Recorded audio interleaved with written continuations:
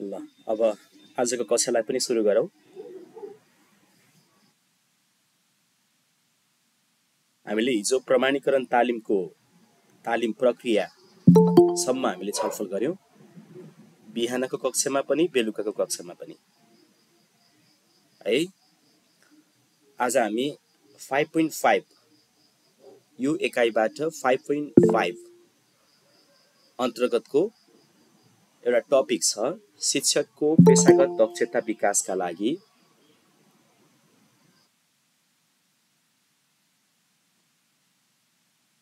शिक्षकको पेसागत दक्षता विकासको लागि उपायहरू के के उपायहरू चाहिँ अप्नाउनु पर्छ के के प्रणालीहरू अप्नाउनु पर्छ भन्ने छ। है तपाईँहरूले यो पेसागत दक्षता विकास भन्ने टपिक पढ्दै गर्दा पनि त्यहीँबाट पनि बुझ्नु भइसक्यो होला कति कुराहरू है। यो पेसागत दक्षता विकासको लागि पहिलो शर्त भनेको तालिम हो। हो? तपाईँलाई क्वेसन आउन सक्छ यहाँबाट है। पेसागत विकासको लागि अथवा पेसागत दक्षता विकासको लागि सबैभन्दा पहिलो शर्त के होला भन्यो भने शिक्षक तालिम।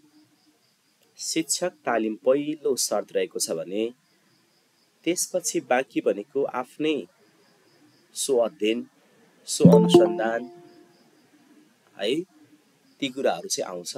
आफैले अनुसन्धान गर्ने खोज अनुसन्धान गर्ने अरूसँग अन्तर्क्रिया गर्ने हो। त्यसरी चाहिँ आफ्नो पेसागत दक्षता विकास गर्न सक्छ। सरस्वती केही मेन कुराहरू मात्र हेर्छौँ बाँकी कुरा भनेको तपाईँले व्यवहारिक रूपले यो कन्सेप्ट बुझेपछि पेसागत विकास भनेको के त? आफैले चाहिँ आफ्नो पेसालाई विकास गर्ने भने त हो नि। आफ्नो पेसाको सम्पादन गर्ने होइन? पेसामा आफै आफू चाहिँ के गर्ने त? क्षमतावान बन्ने त्यो हो होइन? त्यो कारणले गर्दाखेरि यो व्यवहारिक रूपले बुझ्ने हो। कन्सेप्ट थाहा पाउने पहिला त्यसपछि पहिलो शर्त थाहा पाउनु पहिला साथीहरू। पेसागत विकासको पहिलो शर्त। पेसागत विकासको पहिलो शर्त के रहेछ त? शिक्षक तालिम कार्यक्रम सञ्चालन। शिक्षक तालिम कार्यक्रम सञ्चालन पहिलो शर्त हो। त्यसपछि बाँकी चाहिँ सो अध्ययन सो क्रियाकलाप सो अनुसन्धान है आफैले अनुसन्धान गर्ने क्रियाकलापहरू गर्ने त्योहरू भयो।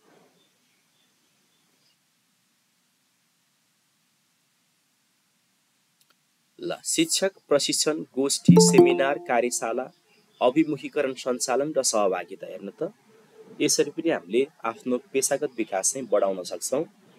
के गरेर भन्दा शिक्षक प्रशिक्षणमा भाग लिएर हो त्यो सञ्चालन गर्ने अनि त्यसमा सहभागी भएर गोष्ठीहरू सेमिनारहरू कार्यशालाहरू अभिमुखीकरण कार्यक्रमहरू त्यो सञ्चालन गर्ने र त्यसमा सहभागी भएर पनि हामीले आफ्नो पेसागत दक्षता चाहिँ बढाउन सक्छौँ। शैक्षिक योग्यता पनि बढाउनु पर्ने हुन्छ है पेसागत दक्षता बढाउनुको लागि। प्लस टू मात्र गरेर चाहिँ शिक्षण पेसामा आबद्ध हुन जानु भएको छ भने त्यो प्लस टूमै सीमित नराख्ने आफ्नो योग्यतालाई त्यसलाई चाहिँ बिस्तारै बढाउने पाँच वर्ष पछाडि त थाहै भएको। पाँच वर्ष पछाडि तिन वर्षको लागि तपाईँहरूले अध्ययन विधा पनि पाइन्छ नि त। शिक्षकले होइन अध्ययन विधा भनेर पाइन्छ होइन। सो त्यो अध्ययन विधामा बस्दाखेरि अध्ययन विधाको तलब फेरि नकाटिने हुन्छ। आइरहन्छ। हो त्यसरी चाहिँ त्यो अध्ययन विधालाई सदुपयोग गरेर आफ्नो शैक्षिक योग्यतालाई बढाउन पनि सकिन्छ अथवा शिक्षक पेसामा लागिरहने यता आफ्नो पढाइ पनि कन्टिन्यू चाहिँ अगाडि बढाइरहने त्यसरी पनि गर्न सकिन्छ।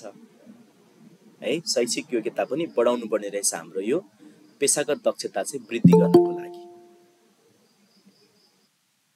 है विभिन्न कार्यक्रमहरूमा सहभागी हुने हो शैक्षिक योग्यता पनि बढाउने। सो अध्ययन खोज अनि अनुसन्धान गर्ने। ल यसलाई म यहाँ माथिसँगै राखिदिन्छु। सो अध्ययन गर्ने खोज गर्ने अनि पेसागत अनुसन्धानको कार्यहरू गर्ने। त्योभित्र के के पर्छ पेसागत अनुसन्धानको कार्यभित्र? भन्दा हामी पेसामा आबद्ध भएको कारणले गर्ने अनुसन्धानहरू जस्तै कार्यमूलक अनुसन्धान घटना अनुसन्धान परियोजना कार्य यी कुराहरू चाहिँ गर्न सकिन्छ।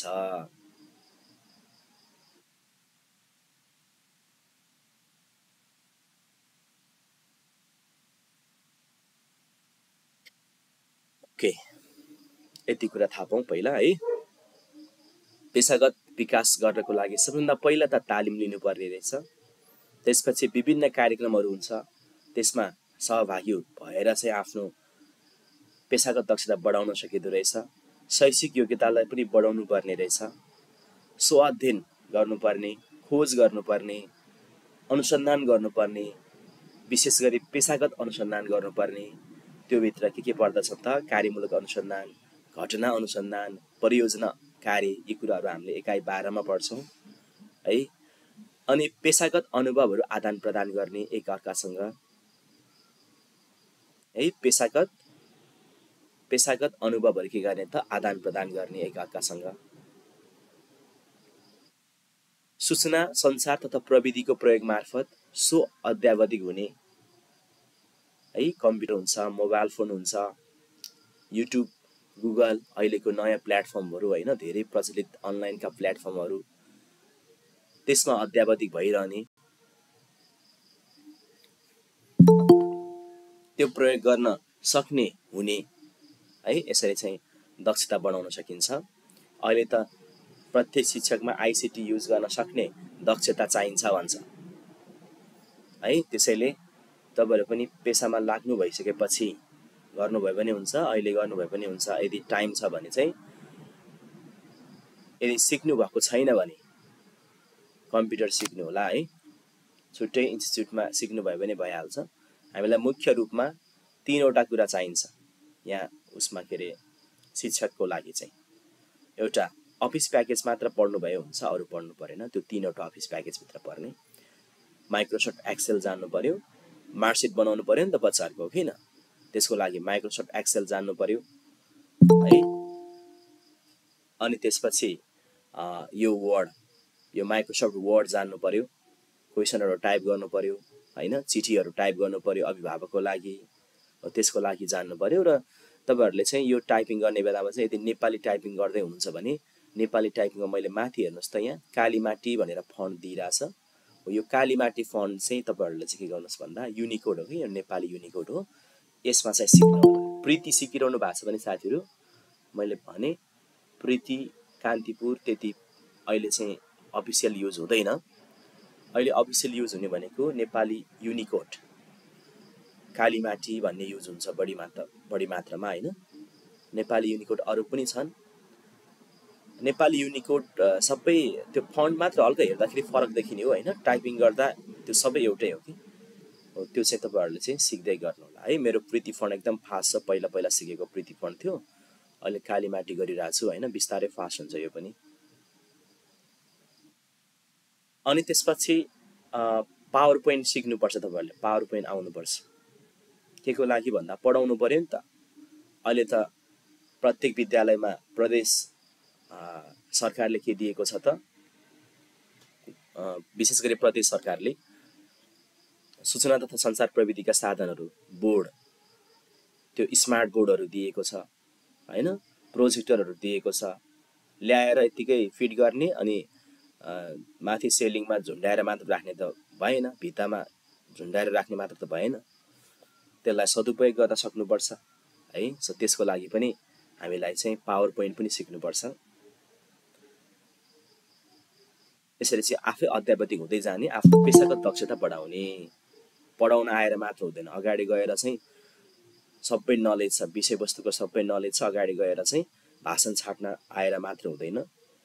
नयाँ प्रविधिका साधनहरू प्रयोग गरेर कसरी चाहिँ प्रभावकारी शिक्षण गर्ने भन्ने कुराहरू चाहिँ खोज अनुसन्धान गर्दै त्यो जान त्यो त्योतिर पनि के के गर्नु पऱ्यो त नलेज चाहिँ लिनुपर्ने हुन्छ। अनि अर्को रहेको छ पाठ्यक्रम शिक्षक निर्देशिका आदि अध्ययन गरी त्यसलाई अन्तरिकीकरण गर्ने।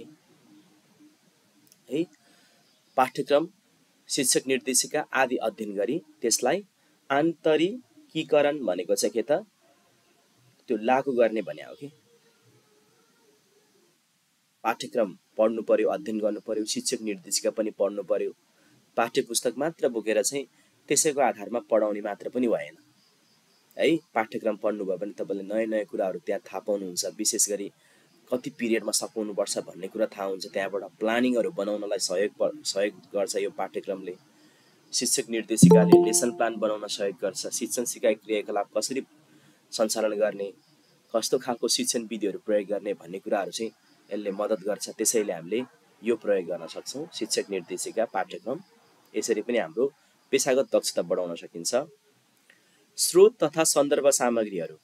अब तपाईँलाई पुस्तक मात्र प्रयोग नगर्ने कि? अस्ति पनि मैले भनेको थिएँ नि सन्दर्भ सामग्री भने के अरे? मुख्य पाठ्य वस्तुलाई चाहिँ मद्दत के अरे सहयोग गर्ने खालको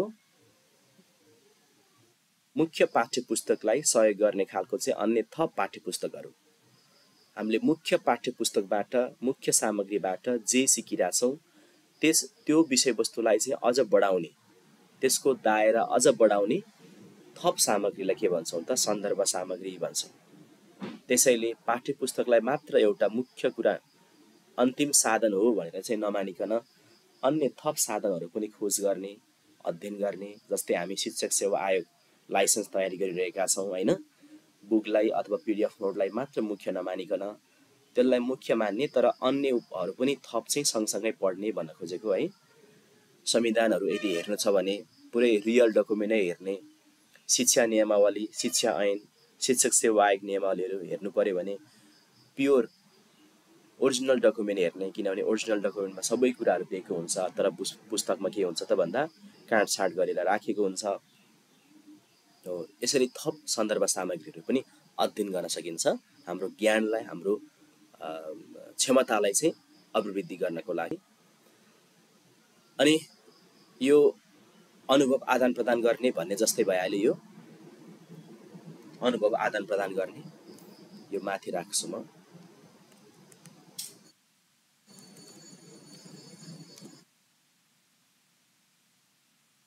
अनुभवहरू आदान प्रदान गर्ने। कसरी भन्दाखेरि आफूले अरूको कक्षा अवलोकन गराउने हो के अरे गर्ने। आफूले अरूको कक्षा अवलोकन गर्ने र अरूलाई चाहिँ आफ्नो कक्षा अवलोकन गराउने। है गर्न लगाई अनि पृष्ठपोषण लिने दिने। आफूले अरूको अवलोकन गरेको छ भने अरूलाई पृष्ठपोषण दिने। यहाँनिर अलिकति यो तरिकाले जाँदा अलि राम्रो होला है भनेर पृष्ठपोषण दिने। फेरि आफ्नो कक्षा अवलोकन अरूबाट गराई अरूबाट फेरि पृष्ठपोषण लिने। के के कमी कमजोरी छ? कसरी सुधार्ने? पृष्ठपोषण लिने अनि सोही अनुसार चाहिँ कक्षालाई अझ सुधार गर्दै व्यवस्थित गर्दै योजनाबद्ध बनाउँदै प्रभावकारी बनाउने। हो त्यसरी पनि हामीले आफ्नो पेसागत अनु के अरे के भन्छ दक्षतालाई चाहिँ बढाउन सक्छौँ। यो विभिन्न उपायहरू अन्तर्गत पर्ने उपायहरू भयो है। ल यो तपाईँले सरसर्ती हेर्नुहोला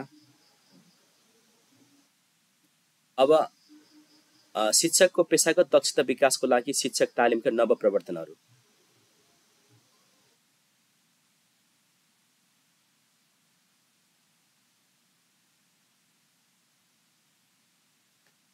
आदम्यकृत शिक्षण अहिलेको जो नयाँ ऊहरू हो कि यो भनेको विषयवस्तुहरू यसरी पनि हामीले यो नयाँ विधि प्रवर्धन भनेको विधि नयाँ प्रविधिहरू हो। यो विधिबाट पनि हामीले चाहिँ पेसागत दक्षता बढाउन सकिन्छ है भनेको। है तादम्यकृत शिक्षण सूक्ष्म शिक्षण अथवा लघु शिक्षण छोटाएको शिक्षण अनि समूह सहपाठी शिक्षण यसरी पनि हामीले गर्न सक्छौँ। तादम्यकृत शिक्षण भनेको अरूले राम्रो पढाइरहेको छ भने उसैको कपी गर्ने। है उसैको कपी गर्ने कपी पेस्ट के अरे कपी राइट लाग्दैन। है उसैको कपी गर्ने अनि त्यही अनुसार चाहिँ अनुकरण अनुकरण गरेर चाहिँ पढाउने। तादम्यकृत शिक्षण भन्छ। सूक्ष्म शिक्षण भनेको पन्ध्र मिनटमा चाहिँ के गर्ने त आफ्नै समूहमा पढाउन पनि मिल्छ होइन? अनि पृष्ठपोषण लिने दिने यसरी चाहिँ शिक्षण गर्ने सूक्ष्म शिक्षण भयो समूह शिक्षण भनेको त्यो पनि सूक्ष्म शिक्षण जस्तै सहपाठी शिक्षण पनि भन्छ। है सँगसँगै आफ्नै साथीलाई पढाउने अनि पृष्ठपोषण लिने आदान प्रदान गर्ने। यो समूह शिक्षण भयो। है? प्राथमिकृत शिक्षण डाक्टर क्रुइक साङ क्रुइक स्याङ क्रुइक स्याङले चाहिँ विकास गरेको सुरुवात गरेको सूक्ष्म शिक्षण प्रो एलएनले विकास गरेको। अब अर्को टपिक फाइभ पोइन्ट सिक्स अध्यापन अनुमति पत्रको आवश्यकता औचित्य। हजुर? कोही बोल्नुभयो? हिजो नि यसो हेरे जस्तो लाग्यो माथि हिजो हिजो क्लासमा पनि डिस्कस गरेको है। अध्यापन अनुमति पत्रको आवश्यकता र औचित्य। यहाँबाट अब हामी अध्यापन अनुमति पत्र तयारी गरिरहेछौँ होइन। त्यो कारणले गर्दाखेरि हामीलाई यो यहाँबाट एउटा क्वेसन आउँछ कि जस्तो लाग्छ है। अध्यापन अनुमति पत्र। यो पाठबाट तिनवटा क्वेसन मात्र आउँछ है। तिनवटा क्वेसन मध्ये एउटा सक्षमताबाट स्योर है सक्षमता प्रारूपबाट। अनि अनि एउटा क्वेसन चाहिँ शिक्षक तालिम अहिलेको नयाँ तालिम छ नि प्रमाणीकरण तालिम के भनेको छ होइन? त्यो वर्तमान तालिम व्यवस्थाबाट आउन सक्छ। अनि एउटा चाहिँ पेसागत विकासबाट आउन सक्छ अथवा यो अध्यापन अनुमति पत्रबाट आउन सक्छ। है ल। अध्यापन अनुमति पत्रको आवश्यकता र औचित्य। भएर हाम्रो टपिकमा छ होइन? आवश्यकता मात्र पढ औचित्य मात्र पढ अध्यापन अनुमति पत्र भने के हो भन्ने कुरा चाहिँ पढ्नु पर्दैन भनेर राखेको छ। तर पनि अध्यापन अनुमति पत्र भनेको के हो? पहिला सरस्वती थोरै एक दुई लाइनमा हेरौँ। हामी सबैलाई थाहा छ हो। शिक्षण पेसामा आबद्ध हुनुभन्दा अगाडि शिक्षण पेसामा चाहिँ आबद्ध हुनको लागि आवश्यक हुने पहिलो के त? शर्त हो। पहिलो प्रमाणपत्र गेट हो यो। Get pass. गेट पास भन्न मिल्छ शिक्षण शिक्षण पेसामा चाहिँ भित्र इन्टर हुनलाई प्रवेश गर्नलाई चाहिँ प्रवेश पास है भन्न मिल्छ। कुनै व्यक्तिलाई शिक्षण सेवा कुनै व्यक्तिलाई शिक्षण सेवामा आबद्ध हुन योग्य छ भनी प्रदान गरिने अनुमति पत्र कुनै व्यक्तिलाई शिक्षण सेवामा आबद्ध हुन योग्य छ भनी प्र प्रदान गर्ने के त अनुमति पत्र भनेको अध्यापन अनुमति पत्र हो। है? ल अब तिमी बल्ल सक्षम भयो है भनेर चाहिँ आबद्ध हुनलाई योग्य छ भनेर चाहिँ अनुमति पत्र दिइन्छ। अब अनुमति पत्र लिइसकेपछि पढाउन पाइयो। है? खुला आयोग लड्न पाइयो। आयोग लडेर प्रतिस्पर्धा गरेर कम्पिटिसन गरेर माग सङ्ख्याभित्र परेर चाहिँ जागिर खान पाइयो शिक्षण पेसामा लाग्न पाइयो। यो बिना पाइँदैन हो किन त्यही भएर प्रवेश गर्नको लागि अथवा आबद्ध हुनको लागि योग्य छ भने प्रदान प्रदान गरिने पत्र भनेको अनुमति पत्र हो। अध्यापन अनुमति पत्र हो।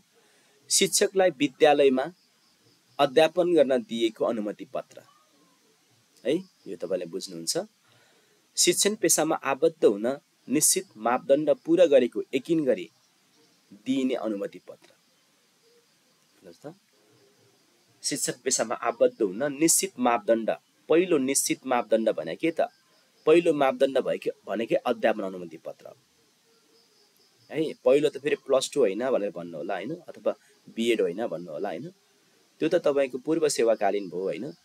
त्यसपछि अब ठ्याक्क त्यो सकेर प्रवेश गर्न लाग्दाखेरि तपाईँलाई पहिलो पहिलो मापदण्ड पहिलो अवस्थामा तपाईँ के गर्नुपर्छ त? पहिलो उसमै स्टेपमै चरणमा अध्यापन अनुमति पत्र प्राप्त गरेको हुनुपर्छ। है यो निश्चित मापदण्ड पुरा गरेको यकिन गरी दिइने अनुमति पत्र हो यो। एजुकेसनै गरेकै हो भनेर त्यहाँ पनि देखिन्छ नि त लाइसेन्समा हो किन अरूले पाइँदैन नि त। गुणस्त्री शिक्षकबाट विद्यार्थीले पढ्न पाउने अधिकारको सुनिश्चितताको लागि प्रदान गरिने। है अध्यापन अनुमति पत्र पुरै यसरी अध्ययन गरेर पढ्नु भएको छ सबै विषयवस्तु पढ्नु भएको छ पाठ्यक्रम पनि पढ्नुपर्ने हुन्छ हामीले हो किन है आइसिटीको साधनहरू कसरी प्रयोग गर्ने त्यो पनि पढ्नुपर्ने हुन्छ। आइक्यूहरू तपाईँले आइक्यूबाट चाहिँ तपाईँको आफ्नो स्मरण शक्ति पनि बढाउन सक्नुहुन्छ। त्यसरी चाहिँ तयारी गरेर जानुहुन्छ। अनि कस्तो शिक्षक हुन्छ त्यसपछि? गुणस्त्री शिक्षक हुन्छ। है अनि गुणस्तर शिक्षकबाट विद्यार्थीले पढ्न पाउने अधिकार सुनिश्चित हुन्छ। है? अरू ज जसले यसरी चाहिँ अध्यापन अनुमति पत्र पास गर्न सक्नुहुन्न उहाँहरूले उहाँहरूले त्यति पढाउन सक्नुहुन्न भनेर चाहिँ थाहा हुन्छ। है? अलिकति क्षमतावान व्यक्ति मात्र चाहिँ शिक्षण पेसामा प्रवेश गराउनको लागि यो अध्यापन अनुमति पत्र राखिएको शिक्षण पेसामा प्रवेश बिन्दुमा न्यूनतम स्तर पुगेको भन्ने प्रमाणित गर्ने गेट पास। है यो गेट पास जसलाई के भन्छ त? अध्यापन अनुमति पत्र भनेर भनिन्छ। सामान्य यो अर्थ भइहाल्यो होइन? अब किन चाहिन्छ भन्ने कुरा? है हामीलाई अध्यापन अनुमति पत्र किन चाहिन्छ? किन आवश्यक छ? हामीले हाम्रो मा मात्र यहाँबाट क्वेसन आयो भने यो आउने हो। अध्यापन अनुमति पत्र भनेको के हो भनेर आउने होइन। है हाम्रो के त? मुख्य रूपमा यो आउने हो। किन आवश्यकता पर्यो त? अध्यापन अनुमति पत्र किन आवश्यकता पर्यो? पाठ्यक्रममै यही छ होइन? त्यो कारणले गर्दाखेरि यहाँबाट चाहिँ क्वेसन आउन सक्छ है? पाठ्यक्रम के अरे अध्यापन अनुमति पत्र किन आवश्यकता पर्यो? है भन्यो भने पहिलो मुख्य उद्देश्य भने के? शिक्षकको लागि आवश्यक पर्ने न्यूनतम पेसागत मापदण्ड तथा सक्षमता निर्धारण गर्नु। यसको मुख्य उद्देश्य भनेकै यो आवश्यकता भन्यो भने गर्न भनेर भन्ने। उद्देश्य भन्यो भने गर्नु भन्ने। ल शिक्षकको लागि आवश्यक पर्ने न्यूनतम पेसागत मापदण्ड तथा सक्षमता निर्धारण गर्नु भनेको यो अध्यापन अनुमति पत्रको के रहेछ त? आवश्यकता रहेछ उद्देश्य रहेछ। है? ल यसलाई पहिला तपाईँले दिमागमा घुसाउनुहोस्। के गर्ने रे? शिक्षक हुनको लागि चाहिने न्यूनतम मुख पहिला न्यूनतम भनेको के हो? पहिलो चरणको फर्स्ट स्टेपमा चाहिने के? अध्यापन अनुमति पत्र हो। न्यूनतम पेसागत मापदण्ड भनेको यो र सक्षमता निर्धारण गर्नु। त्यो चाहिँ अध्यापन अनुमति पत्र हो। शिक्षणमा प्रवेश गर्ने न्यूनतम स्तर सुनिश्चित गर्ने भनेर पनि भन्न सक्छ। शिक्षणमा प्रवेश गर्ने प्रवेश गर्नको लागि चाहिने के त? न्यूनतम न्यूनतम स्तर सुनिश्चित गर्नु। यो चाहिँ न्यूनतम स्तर ल ठिक छ है भनेर सुनिश्चित गर्नु। त्यसपछि बाँकी बिस्तारै त्योभन्दा माथिको के भन्छ क्षमताहरू सक्षमताहरू चाहिँ बढाउँदै जाने हो। न्यूनतम सक्षमता अथवा मापदण्ड भने के त अध्यापन अनुमति पत्र। पहिलो शर्त भन्दा पनि हुन्छ है? ल शिक्षकको छनौट तथा नियुक्ति प्रक्रियालाई व्यवहारिक वैज्ञानिक र नियमसङ्गत बनाउन। हेर्नुहोस् त त्योभन्दा अन्य कुराहरू हेर्नुहोस् त यो थप कुराहरू। शिक्षकको छनौट नियुक्ति प्रक्रिया हो? लाई कसरी त व्यवहारिक बनाउने वैज्ञानिक बनाउने नियमसङ्गत बनाउने। अध्यापन अनुमति पत्र नलिने सबैले पाउँछ भन्यो भने त जो पनि त्यहाँ छिर्न पाउने भयो प्रवेश गर्न पाउने भयो होइन? नियमसङ्गत नहुन सक्छ है? आफ्नो आफन्तहरू छ भने जसलाई पनि त्यहाँभित्र राख्न सक्छ। तर अध्यापन अनुमति पत्रको व्यवस्था गरिदियो भने के भयो त? अध्यापन अनुमति पत्र हुने मात्र त्यहाँ चाहिँ पस्न पाउने भयो। नभएको व्यक्ति यदि आफ्नो नजिकको नातेदार भए पनि उसलाई चाहिँ शिक्षण पेसामा प्रवेशमा रोग लाउन सक्ने भयो। ल नियम सङ्गत बनाउन शिक्षकको छनौट तथा नियुक्ति प्रक्रियालाई व्यवहारिक बनाउन वैज्ञानिक बनाउन नियम सङ्गत बनाउन। अनि शिक्षामा राजनीतिक पहुँचको आधारमा शिक्षक नियुक्ति रोक्न मैले अघि भने नि आफ्नो नातेदार राजनीतिक आग्रह पूर्वाग्रह त्यो हिसाबबाट पनि आफ्नोलाई चाहिँ फेल भए पनि राखिदिने होइन? अरूलाई चाहिँ पास भए पनि सबभन्दा राम्रो मार्क्स ल्याएको छ छ भने पनि वैकल्पिकमा राखिदिने। इन्टरभ्यू लिएको जस्तो गरेर होइन? त्यस्तो कयौँ ठाउँमा पाइन्छ अहिले है? ल यसलाई रोक्नको लागि अध्यापन अनुमति पत्र राखिएको। नक्कली प्रमाणपत्रको प्रवेशलाई रोक्न है? नक्कली प्रमाण प्रमाणपत्रको प्रवेशलाई रोक्न। जस्तै जुनसुकै विषय विषयमा पढेकोहरूले पनि के यो अध्यापन अध्यापन अनुमति पत्र राखेन भने त प्रवेश गर्न पाउने भयो हो कि होइन? यदि अध्यापन अनुमति पत्र राख्थ्यो भने त शिक्षा विषय लिएकोले मात्र पाउने भनेर भन्या हुन्छ। अनि प्रमाणपत्र त्यसरी झुकाएर अरू विषयको प्रमाणपत्र देखाएर चाहिँ गर्ने भएन। सुरुमै अध्यापन अनुमति पत्रको परीक्षाको बेला नै त्यो प्रमाणपत्र चाहिँ के लाएर हेर्ने नक्कली प्रमाण प्रमाणपत्रलाई चाहिँ के गर्ने? रोक्ने नवीनतम चिन्तन भएका र नवीनतम प्रविधिको प्रयोग गर्न सक्ने तेजाबी तेजाबी भनेको बुद्धिमानी भनेको है दिमाग एकदम भएको। क्षमतावान दक्ष व्यक्तिलाई चाहिँ शिक्षामा भित्राउनका लागि यो राखिएको हो। नवीनतम चिन्तन भएका नवीनतम प्रविधिको प्रयोग गर्न सक्ने तेजाबी तथा क्षमतावान दक्ष व्यक्तिलाई शिक्षामा भित्राउनको लागि। है अनि पेसागत ज्ञान भएका सृजनशील युवालाई शिक्षण सिक पेसामा आकर्षित गरी गुणस्तरीय शिक्षा अभिवृद्धि गरी सामुदायिक विद्यालयको शैक्षिक स्तर उकास्न। यसको लागि पनि त हो नि।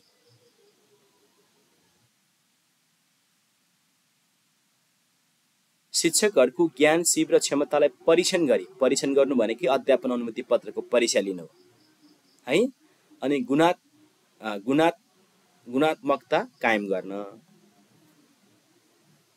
शिक्षामा गुणस्तर कायम गरी बालबालिकाको भविष्य सुनिश्चित गर्न। शिक्षण पेसालाई मर्यादित बनाउन सम्मानित बनाउन प्रतिष्ठित बनाउन। यो अध्यापन अनुमति पत्र राखिदियो भने अलिकति सम्मानित पेसा बन्छ। नभए त जो पनि प्रवेश गरेको हुन्छ अनि ए जसले पनि पाउने रहेछ नि यो त। जसले पनि पढ्ने पढाउनै नआउने मान्छेले पनि विषयवस्तुको नलेज ज्ञानै नहुने मान्छे पनि त्यो पेसामा चाहिँ लाग्न सक्ने रहेछ नि भनेर मान्छेले होच्याउँछ। अब अध्यापन अनुमति पत्र राखिदियो भने त के भयो त? पहिला लाइसेन्स पास गर्नुपर्छ यतिकै पाउँछ। हामीले त्यसरी मेहनत गरेर आएको त्यसपछि खुला आएको त्यो पनि first paper second paper third third paper interview त्यसरी चाहिँ पास गरेर आएको हुन्छ। भनेर भन्यो भने अलिकति के हुन्छ त? ए यो पेसामा आबद्ध हुनलाई पनि यसरी चाहिँ मेहनत गर्नुपर्ने रहेछ भन्ने खालको हुन्छ। अलिकति मान्छेले गन्छ नत्र यत्तिकै आएको भन्ने हुन्छ। हो?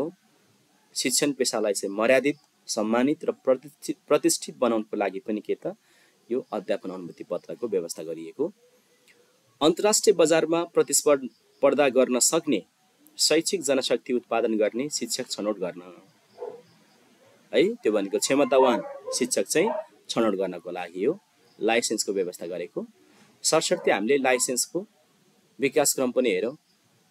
यो लाइसेन्सको विकासक्रमको क्वेसन चाहिँ यो पाठबाट मात्र आउँछ भन्ने हुँदैन। यो चाहिँ शिक्षा ऐन र नियमावली। शिक्षा ऐन र शिक्षक सेवा आयोग नियमावली दुईवटा है? शिक्षा ऐन दुई हजार अठाइस र शिक्षक सेवा आयोग नियमावली दुई हजार सन्ताउन्न। यो दुईवटाबाट चाहिँ आउन सक्छ है? एकाइ एक अन्तर्गत रहेर एकाइ एक अन्तर्गत रहेर। यो पाठबाट पनि आउन सक्ने भयो। एकाइ एक अन्तर्गत रहेर त्यहाँबाट पनि क्वेसन सोध्न सक्ने भयो। त्यही भएर सरस्वती जान्नुपर्छ। हाम्रो सिलेबसले चाहिँ यति मात्र पढ भने हो है। यो आवश्यकता र उद्देश्य मात्र पढ भनेको यो तलको भनेको छैन होइन। तर पनि अलि नियममा चाहिँ के व्यवस्था छ त भन्ने कुरा सरस्वती जान्नुभयो भने हुन्छ। हुन त हामीले यो कुरा चाहिँ एकाइ एकमा पनि पढ्छौँ है। ल थोरै म तपाईँहरूलाई चाहिँ सरस्वती भनिदिन्छु। सर्वप्रथम अध्यापन अनुमति पत्र हेर्नुहोस् है। पहिला विकासक्रम हेरौँ। कसरी विकास हुँदै आएको छ नेपालमा? सर्वप्रथम अध्यापन अधिकार पत्र भनेर भनेको थियो है। अनुपति पत्र होइन अधिकार पत्र। अध्यापन अधिकार पत्र। यसको व्यवस्था विक्रम सम्बत दुई हजार तेइस। है अस्ति शिक्षक तालिमको विकासक्रम इतिहास हामीले हेर्दै गर्दा पनि यो हामीले याद गरेका थियौँ। विक्रमसम्म दुई हजार तेइसमा पहिलो पटक नेपालमा अध्यापन अधिकार पत्रको व्यवस्था गर्यो। अधिकार पत्र भनिन्थ्यो है त्यो बेलामा। अध्यापन अधिकार पत्रको व्यवस्था। तेइसमा। है त्यो बेला चाहिँ तिन जिल्ला के अरे तिन अञ्चलको बिस जिल्लामा चाहिँ परीक्षण गरिएको भनेको छ यो। पहिलो पटक परीक्षण गरिएको भनेको छ है। अब यो अध्यापन अनुमति पत्रको व्यवस्था अनिवार्य गर्नुपर्ने सिफारिस। यो बेला त तेइसमा त भर्खर व्यवस्था गरेको अनिवार्य लिनै पर्छ भन्ने कुरा थिएन। होइन? अनिवार्य लिनै पर्छ जसरी भए पनि लिनै पर्छ भन्ने खालको थिएन अनिवार्य व्यवस्था गरेको थिएन। है? अनि अध्यापन अनुमति पत्र अनिवार्य गर्नुपर्छ भनेर सिफारिस कुन आयोगले गरेको कुन प्रतिवेदनले गरेको भन्ने तपाईँलाई प्रश्न आउन सक्छ। अध्यापन अनुमति पत्रको व्यवस्था अनिवार्य गर्नुपर्ने सिफारिस कुन आयोगले गरेको हो कुन प्रतिवेदनले गरेको हो भनेर आउन सक्छ। शिक्षा सम्बन्धी उच्च स्तरीय कार्य समितिको प्रतिवेदन दुई हजार अन्ठाउन्न। यसले गरेको है यो सम्झिनु होला। यो महत्त्वपूर्ण भयो। तपाईँलाई यहाँबाट क्वेसन यस्तो आउन सक्छ। अध्यापन अनुमति पत्रको व्यवस्था अनिवार्य यसलाई अनिवार्य गर्नुपर्छ भनेर कसले सिफारिस गरेको भनेर भन्न सक्छ। शिक्षा सम्बन्धी उच्च स्तरीय कार्य समिति दुई हजार अन्ठाउन्न। यसले सिफारिस गरेको यो याद गर्नुहोस् है। यो डेट पढेन बरु है। यो डेट पढेन यी कुराहरू हेर्नु होला। अब यसले के के कुराहरू सिफारिस गरेको थियो भन्दा शिक्षक हुन अध्यापन अनुमति पत्र अनिवार्य गर्नुपर्ने भनेर भनेको छ यसमा। अनि कार्यरत शिक्षकको लागि कार्यरत शिक्षक पहिल्यै चाहिँ अध्यापन अनुमति पत्र नलिकन कार्यरत भएको शिक्षकको लागि चाहिँ पाँच वर्षभित्र स्थायी अनुमति पत्र लिने गरी अस्थायी अनुमति पत्र चाहिँ दिने भनेको छ। अस्थायी अनुमति पत्र दिने है कार्यरत शिक्षकलाई। किनभने अब यसले के व्यवस्था गरे भनेको छ त भन्दाखेरि शिक्षक हुन तालि ता के अरे अध्यापन अनुमति पत्र चाहिँ अनिवार्य। शिक्षक हुन अध्यापन अनुमति पत्र अनिवार्य। अनि अनिवार्य भनेपछि के? कार्यरत पहिल्यै कार्यरत भएको शिक्षकले चाहिँ नलिनु पर्ने हो त। भन्ने अर्थ लाग्छ होइन? सबैले लिनुपर्छ अनिवार्य भनेपछि। त्यसैले कार्यरत भएको शिक्षकले हटाउनु पनि पाएन अध्यापन अनुमति पत्र लिएन भनेर नलिएको भनेर होइन? के गर्ने त भन्दा छ महिनाभित्रमा छ महिनाभित्रमा चाहिँ अध्यापन अनुमति पत्र दिने भन्ने प्रावधान भयो है। कस्तो खालको त भन्दा अस्थायी प्रकृतिको फेरि है अस्थायी अध्यापन अनुमति पत्र दिने अनि त्यस्तो शिक्षकलाई चाहिँ पाँच वर्षभित्रमा त्यो अस्थायी अध्यापन अनुमति पत्रलाई स्थायी बनाउने भनेर चाहिँ राखियो। त्यो सिफारिस गरेको यो है? प्रत्येक पाँच पाँच वर्षमा अध्यापन अनुमति पत्र नवीकरण गर्नुपर्ने सुझाव पनि यसले पेस गरेको थियो है? तर हाम्रो अहिलेको हामीले अध्यापन अनुमति पत्र लिइसकेपछि त्यसलाई नवीकरण गरिरहनु पर्दैन। त्यो हाम्रो थाई स्थायी अध्यापन अनुमति पत्र हुन्छ नवीकरण गर्नु परेन। पाँच पाँच वर्षमा नवीकरण गर्नुपर्छ भन्ने सिफारिस चाहिँ यो शिक्षा सम्बन्धी उच्च स्तरीय कार्य समितिको प्रतिवेदनले चाहिँ यो व्यवस्था गरेको थियो। यो सिफारिस गरेको थियो भनौँ न व्यवस्था भन्दा पनि। ल त्यसपछि अर्को कुरा तपाईँले के सम्झिनुपर्छ यहाँबाट? पहिलो यो सम्झिनुहोस् है। कसले कुन समितिले भन्ने सम्झिनुहोस् कुन प्रतिवेदनले भन्ने सम्झिनुहोस् है। त्यसपछि अध्यापन अनुमति पत्र अनिवार्य गर्नुपर्ने अनिवार्य लिनुपर्ने कहिले भयो? शिक्षा ऐनको सातौँ संशोधन। सबैजनाले सम्झिनु छ है। सम्झिनु छ रियाक्ट गर्नु त सम्झिनु भएको छ सबैजनाले सम्झिनु छ यो है। यो मैले योभन्दा अगाडिको कक्षामा पनि भनेको छु। अध्यापन अनुमति पत्र अनिवार्य लिनुपर्ने। कुन संशोधनले शिक्षा ऐनको कुन संशोधनले भएको भन्यो भने शिक्षा ऐनको सातौँ संशोधन। शिक्षा ऐनको सा सातौँ संशोधनले चाहिँ यो व्यवस्था गरेको त्यो सातौँ संशोधन कहिले भयो? दुई हजार अन्ठाउन्न दस पच्चिस। तालिम अनिवार्य कहिले गरियो रे साथीहरू? तालिम अनिवार्य कहिले गरियो?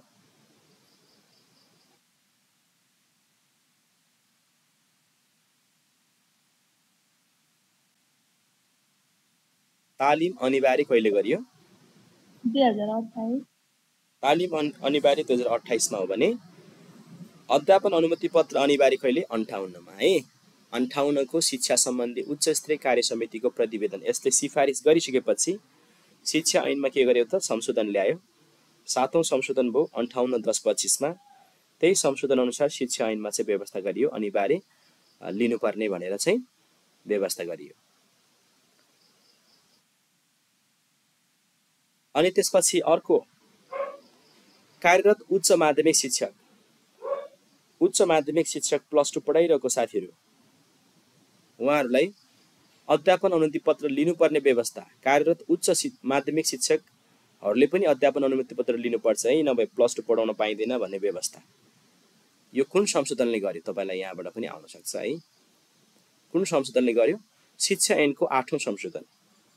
शिक्षा ऐनको आठौँ संशोधन दुई हजार त्रिहत्तर तिन पन्ध्रमा भएको। यो आठौँ संशोधनले के भन्यो अरे? कार्यरत उच्च माध्यमिक शिक्षकको लागि।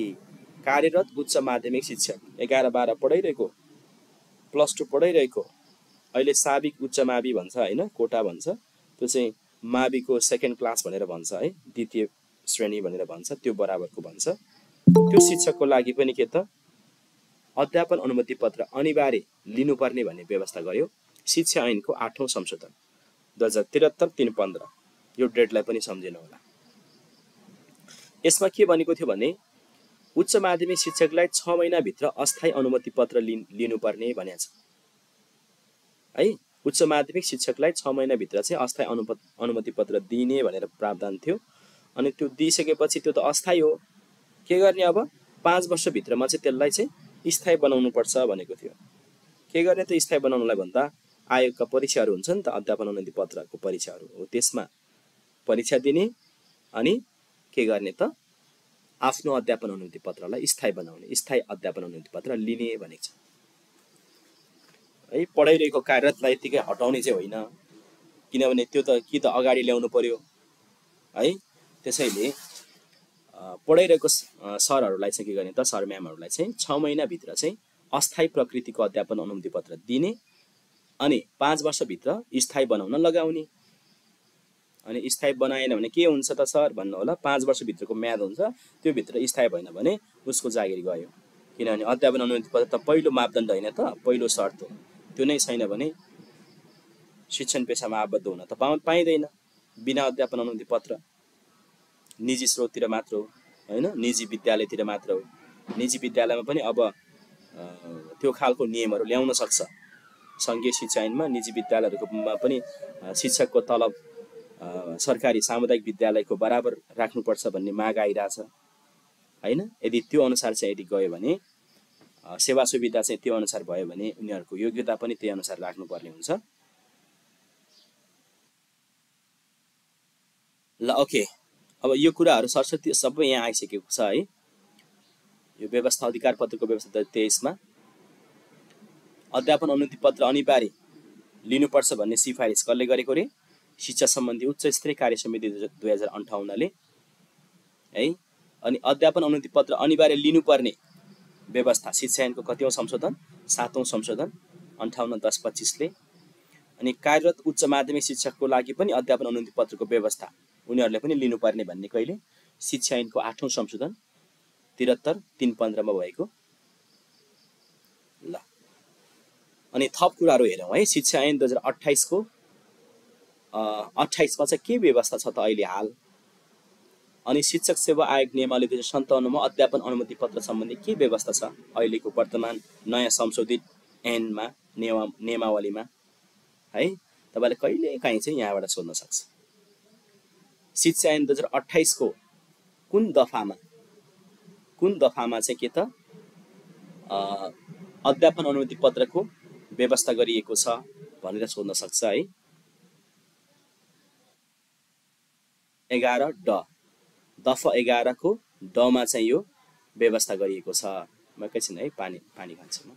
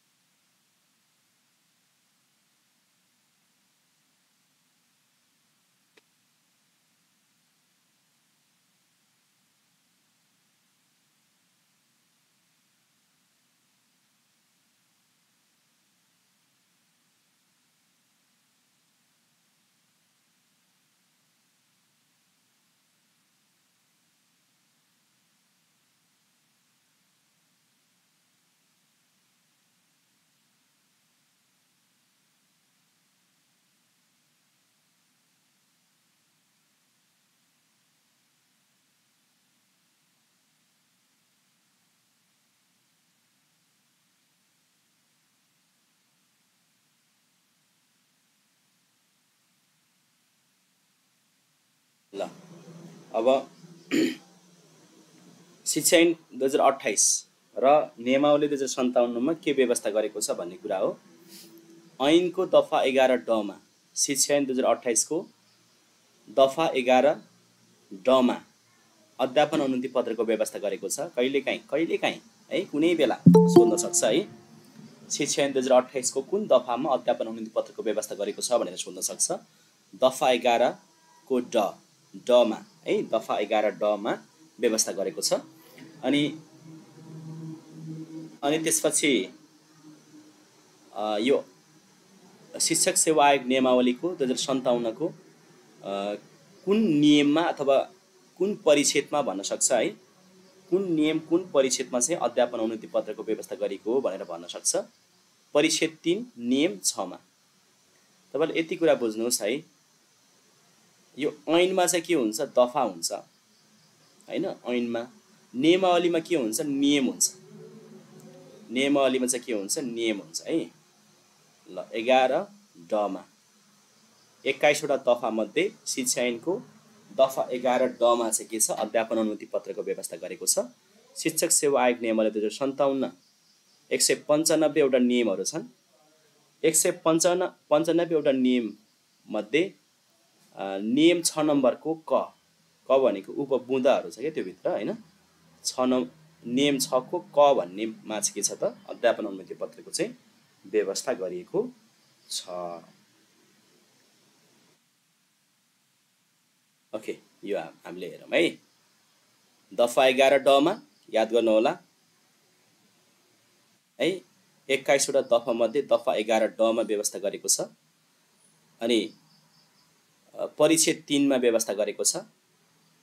परिच्छेद तिनमा व्यवस्था गरेको छ छवटा परिच्छेदमध्ये अनि नियम छ कमा व्यवस्था गरेको छ कतिवटा नियम पचपन्न नियममध्ये है। अनि शिक्षा ऐनको आठौँ संशोधन। यहाँ यसो गरौँ। आठौँ संशोधन कहिले भएको अरे त्रिहत्तर तिन पन्ध्र। यो डेट पनि सम्झिनु होला। हामीले पहिलो एकाइमा पनि पढ्नुपर्छ है यो बारेमा। त्रिहत्तर तिन पन्ध्रमा आठौँ संशोधन भएको। यसमा के भनेको थियो? अघि माथि पनि आइसकेको छ। यो आठौँ संशोधनले चाहिँ उच्च माध्यमिक शिक्षकहरूले पनि के गर्नुपर्ने त? अध्यापन अनुमति पत्र लिनुपर्ने। कार्यरत शिक्षकहरूले पनि अध्यापन अनुमति पत्र लिनुपर्ने। तर कस्तो प्रकृतिको तुरुन्तै लिने त भन्दा छ महिनाभित्र चाहिँ अस्थायी प्रकृतिको लिने। त्यसलाई चाहिँ पाँच वर्षभित्र के गर्ने त? स्थायी लिने भन्ने चाहिँ प्रावधान गरेको छ। अनि शिक्षक सेवा आयोग नियमावली दुई हजार सन्ताउन्नको दसौँ संशोधन। कहिले भएको? छयत्तर छ तेह्र। है यो छयत्तर छ तेह्रमा भएको व्यवस्था संशोधनले के गर्यो भन्दा अध्यापन अनुमति पत्रको लिखित परीक्षाको पूर्णाङ्क सय बनाइदियो उत्तीर्णाङ्क कति बनायो त पचास बनाइदियो। तपाईँलाई यहाँबाट क्वेसन आउन सक्छ है साथीहरू। शिक्षक सेवा आयोग नियमावली दुई हजार सन्ताउन्नको कतिौँ संशोधनमा अध्यापन अनुमति पत्रको लिखित परीक्षाको पूर्णाङ्क सय र उत्तीर्णाङ्क पचास बनाइयो पचास हुने व्यवस्था गरियो भनेर क्वेसन आउन सक्छ दसौँ संशोधन। है दसौँ संशोधन। तर त्यो बेलाको परीक्षाको किसिम कस्तो थियो त? मुख्य विषयमा आधारित। मुख्य विषयमा आधारित भनेको विज्ञान विषय छ भने विज्ञान विषयको छुट्टै परीक्षा हुन्थ्यो। गणित छ भने गणितको छुट्टै हुन्थ्यो। नेपाली छ भने नेपालीको छुट्टै हुन्थ्यो। त्यसरी चाहिँ भएको थियो। ल मुख्य विषयमा आधारित। चालिस अङ्क बहुवैकल्पिक प्रश्न। है चालिस अङ्कको बहुवैकल्पिक साठी अङ्कको चाहिँ विषयगत परीक्षा हुन्थ्यो। त्यो बेलाको है त्यो बेलाको यो छयत्तर। अनि छयत्तरको अहिले अठ अठहत्तर नौ उन्नाइसमा संशोधन एघारौँ संशोधन भएको छ होइन? र यो एघारौँ संशोधन अनुसार चाहिँ यो विषयगत भन्ने राखिएन। अहिले सबैको एउटै हुन्छ एउटै फर्मेट हुन्छ। ल अनि विषयगत भन्ने प्रश्न पनि राखेन। विषयगत भन्ने प्रश्न पनि राखेन मुख्य विषयमा आधारित पनि भएन। सबैको विषय समग्र विषय भन्ने तोकिएन अनि त्यसपछि प्रश्न पनि विषयगत प्रश्नहरू आएन। विषयगत प्रश्न भनेको लामो उत्तर आउने प्रश्नहरू है। वस्तुगत प्रश्न र विषयगत प्रश्न भन्ने हुन्थ्यो नि त। त्यो लामो उत्तर आउने प्रश्नहरू राखिएन। मात्र टिक मार्क लगाउने अहिले छ हामीले पढिरहेको होइन? ल अब तपाईँलाई यो पहिलो नम्बरको यो लिखित परीक्षाको के त? पूर्णाङ्क सय र उत्तीर्णाङ्क पचास कहिले बनाइयो भन्ने कुरा तपाईँले यहाँबाट हेर्नु। अनि त्यसपछि स्थायी अध्यापन अनुमति पत्र चाहिँ कुन अनुसूचीमा छ भनेर सोध्न सक्छ। अनुसूची दुई। है फेरि कुनको अनुसूची भन्दाखेरि यो नियमावलीको शिक्षक सेवा आयोग नियमावली दुई हजार सन्ताउन्नको कति अनुसूचीमा स्थायी अध्यापन अनुमति पत्रको नमुना दिएको छ ढाँचा दिएको छ त्यही ढाँचामा हामीले पाउने हो। भन्यो भने अनुसूची दुईमा रहेको छ साथीहरू दुईमा। अनुसूची दुईमा। जम्मा दुईवटा अनुसूची छ है। पहिलो अनुसूचीमा चाहिँ त्यो शपथ ग्रहणको फर्मेट दिएको छ होइन। त्यो उ गर्दाखेरि के भन्छ आयोग पास गरेर चाहिँ शिक्षण पेसामा नियुक्ति लिने बेलामा के आयोग पास गरेर नियुक्ति पत्र लिने बेलामा शपथ ग्रहण गर्नुपर्ने हुन्छ। त्यो शपथ ग्रहणको के त ढाँचा चाहिँ दिएको छ। एकमा चाहिँ अनि अध्यापन अनुमति पत्रको ढाँचा कतिमा दिएको छ? अनुसूची दुईमा दिएको छ दुईवटा अनुसूची हो जम्मा। ल यति हेर्नु होला यहाँबाट। अब त्यसपछि दसौँ संशोधनपछि एघारौँ संशोधन। अहिले एघारौँ एघार पटक संशोधन भइसकेको छ यो शिक्षक सेवा आयोग नियमावली। एघारौँ संशोधन अठहत्तर नौ उन्नाइसमा भएको है यो डेट पनि सम्झिनु होला। यो हाम्रो लेटेस्ट जुन अन्तिमको संशोधनको डेट चाहिँ हामीले सम्झिनुपर्छ कि? है पहिलाको सुरुको फर्स्टको सम्झिनु पऱ्यो बिसतिरको परेन अनि अन्तिमको सम्झिनु पऱ्यो एघारौँ संशोधन कहिले भयो त? अठहत्तर नौ उन्नाइसमा भएको। यसमा के व्यवस्था गर्यो भन्दा जुन छयत्तर छ तेह्रमा भएको दसौँ संशोधनमा के भनेको थियो? मुख्य विषयमा आधारित भनेको थियो। अहिले त्यो मुख्य विषय राखिएन। कस्तो राख्यो? सामान्य विषय। सामान्य विषय भने के? सबै विषयको एउटै। है? मुख्य विषय जुन विषय लिएर गरेको छ भने पनि त्यो विषय भनिँदैन। लाइसेन्समा पनि त्यही त्यही त्यस्तै प्रकृतिको ढाँचामा आउँछ कि? अनुसार यदि लाइसेन्स आउने हो भने त्यहाँ लाइसेन्समा गणित विषय छ भने गणित विषयमा गणित विषयको अध्यापन अनुमति पत्र दिएको छ भनेर लेख्या हुन्छ। अनि एघारौँ संशोधन अनुसार अहिले अनुसार चाहिँ अध्यापन अनुमति पत्र लिने हो भने चाहिँ त्यहाँ चाहिँ माध्यमिक तहको अध्यापन अनुमति पत्र प्रदान गरिएको छ। मात्र भन्छ विषय तोकिँदैन। पहिला माध्यमिक तहको विज्ञान विषयको लागि अध्यापन अनुमति पत्र दिएको छ भनेर विषय तोकिन्थ्यो। अहिले विषय तोकिँदैन। यो व्यवस्था छैन। सबैको एउटै हुन्छ। लिखित परीक्षाको पूर्णाङ्क र उत्तीर्णाङ्क पनि एउटै हो। एक सय अनि उत्तीर्णाङ्क पचास। पूर्णाङ्क सय उत्तीर्णाङ्क पचास। है त? ल अहिलेको व्यवस्था अनुसार पनि यही छ। अब कहिले बनाइयो भनेर सोध्यो भने सुरुमा कहिले बनाइयो भन्ने अर्थ लाग्छ। त्यो भनेको के त? छयत्तर छ तेह्रमा। छयत्तर छ तेह्रमा चाहिँ पहिलोपटक के त?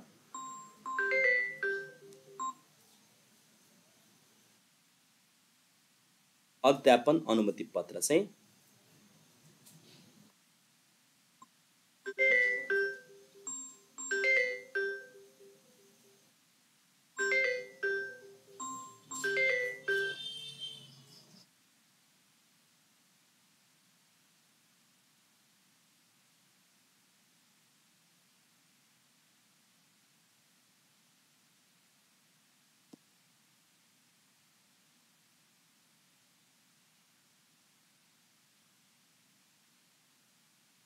ल ओके यति सम्झिनु है। अनि त्यसपछि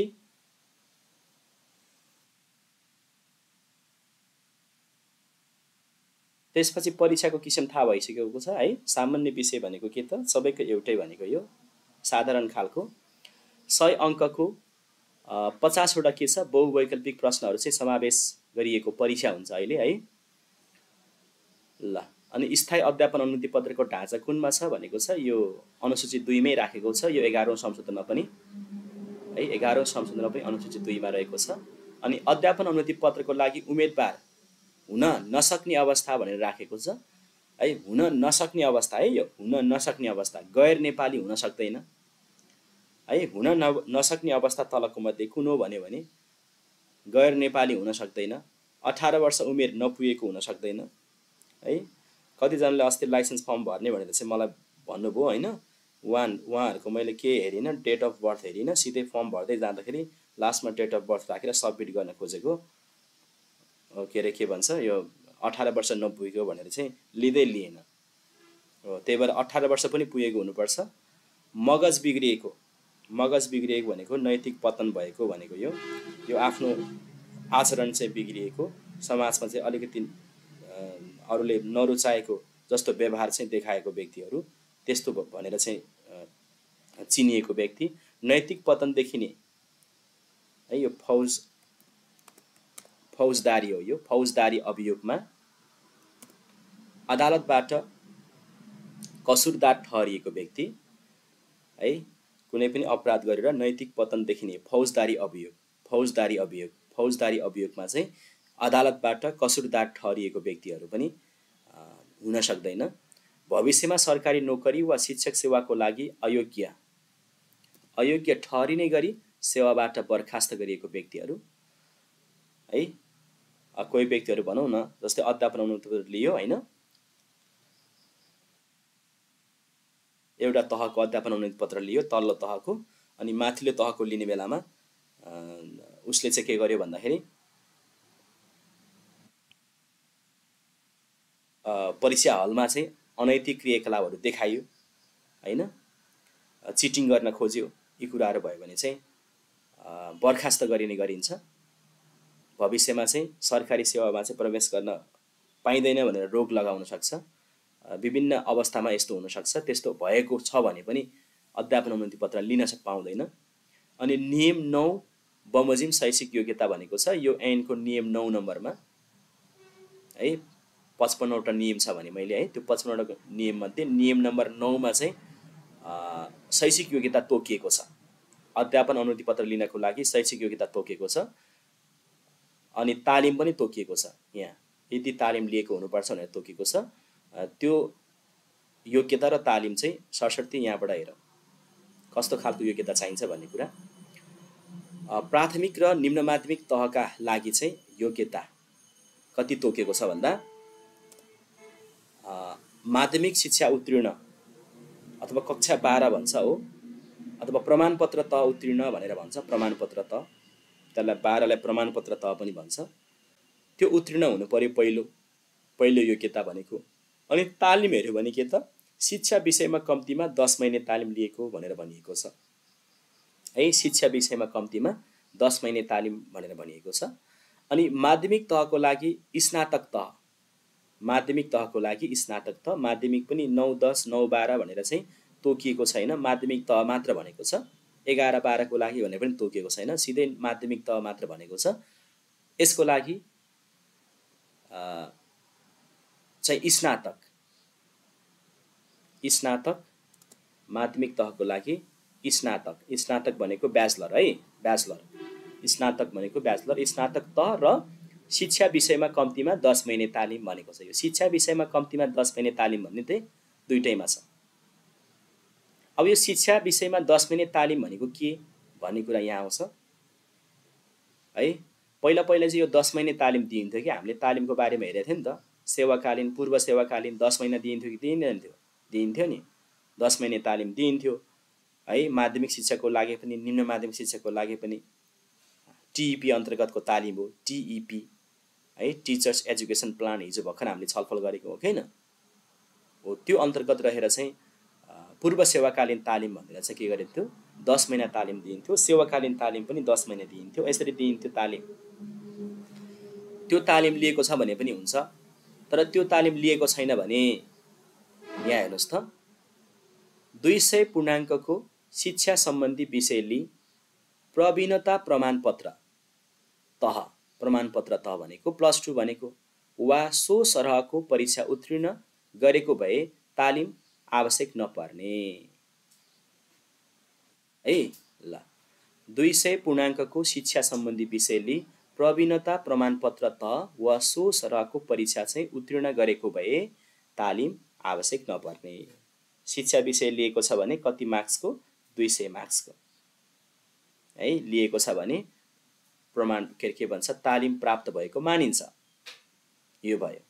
अनि ब्याचलर पास गरेको छ भने ब्याचलर पास गरेकोहरूमा हेर्नुहोस् त यो यो विषयमा विज्ञान गणित अङ्ग्रेजी होइन लेखा computer civil engineering electrical engineering पशुपालन वा बाली विज्ञान यो भनेको पशु विज्ञान प्लान्ट साइन्स भन्छ भन्ने हुन्छ। अनि बाली विज्ञान भनेको एनिमल साइन्स भन्ने हुन्छ। यसमा ब्याचलर छ भने यसमा स्नातक गरेको छ भने है यसमा स्नातक गरेको छ भने।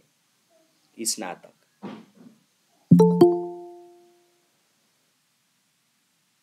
स्नातक गरेको छ भने त्यस्तो व्यक्तिले पनि के गरेको?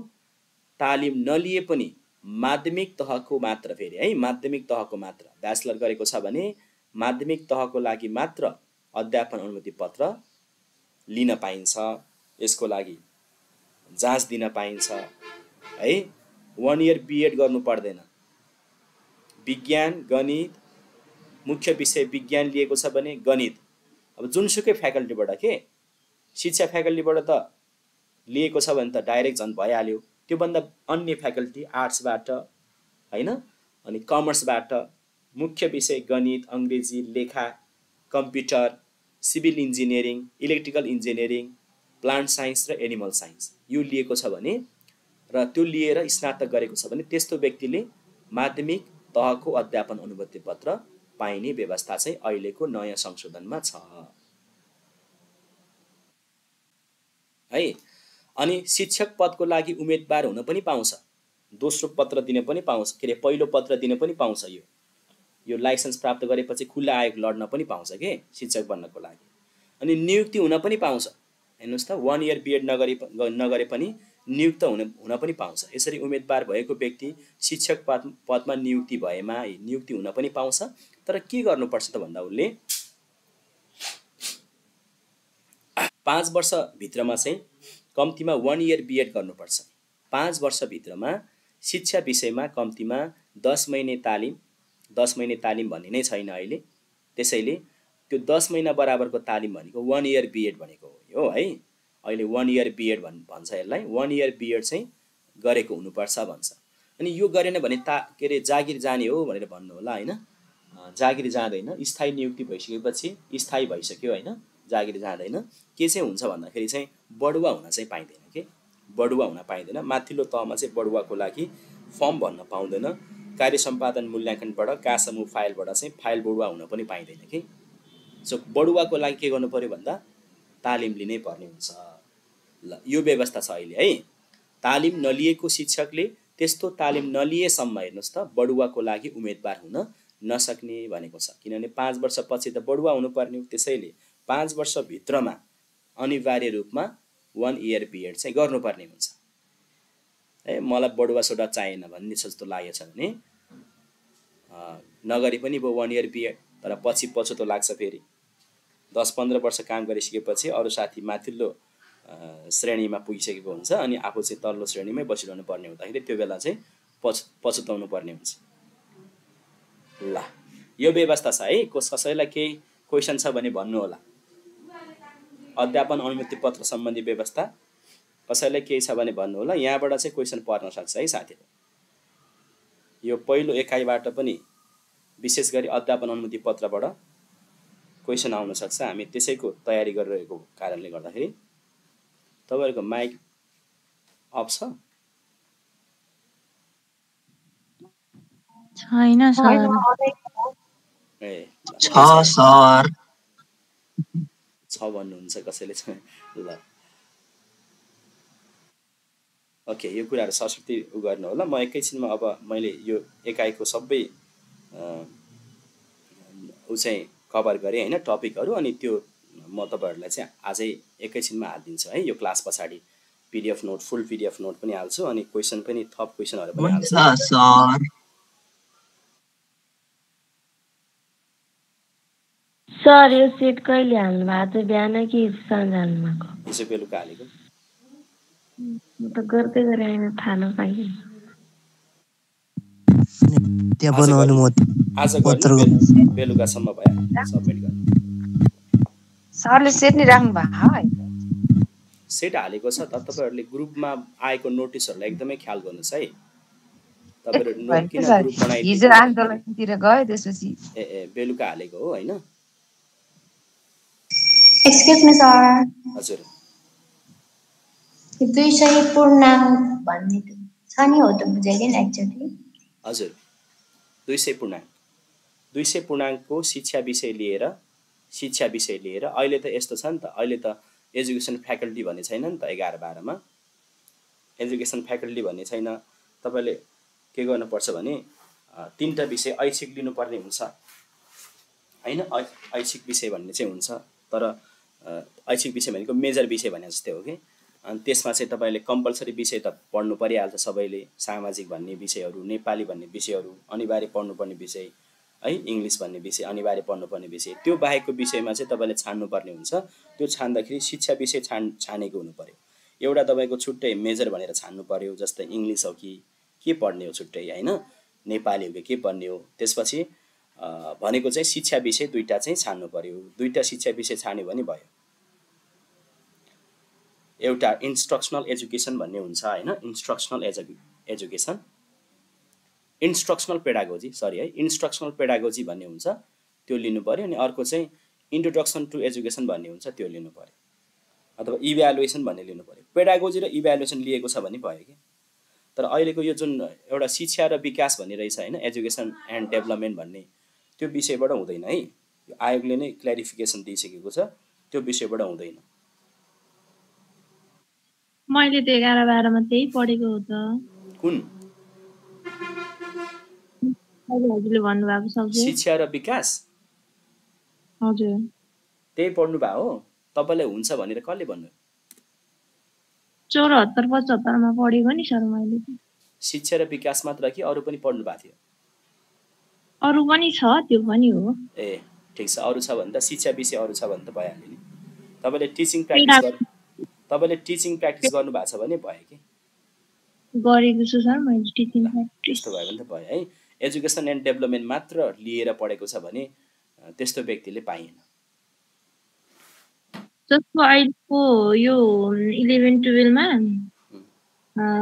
आर्ट्समा चाहिँ मेजर नेपाली लिएर उसले पाउँदैन।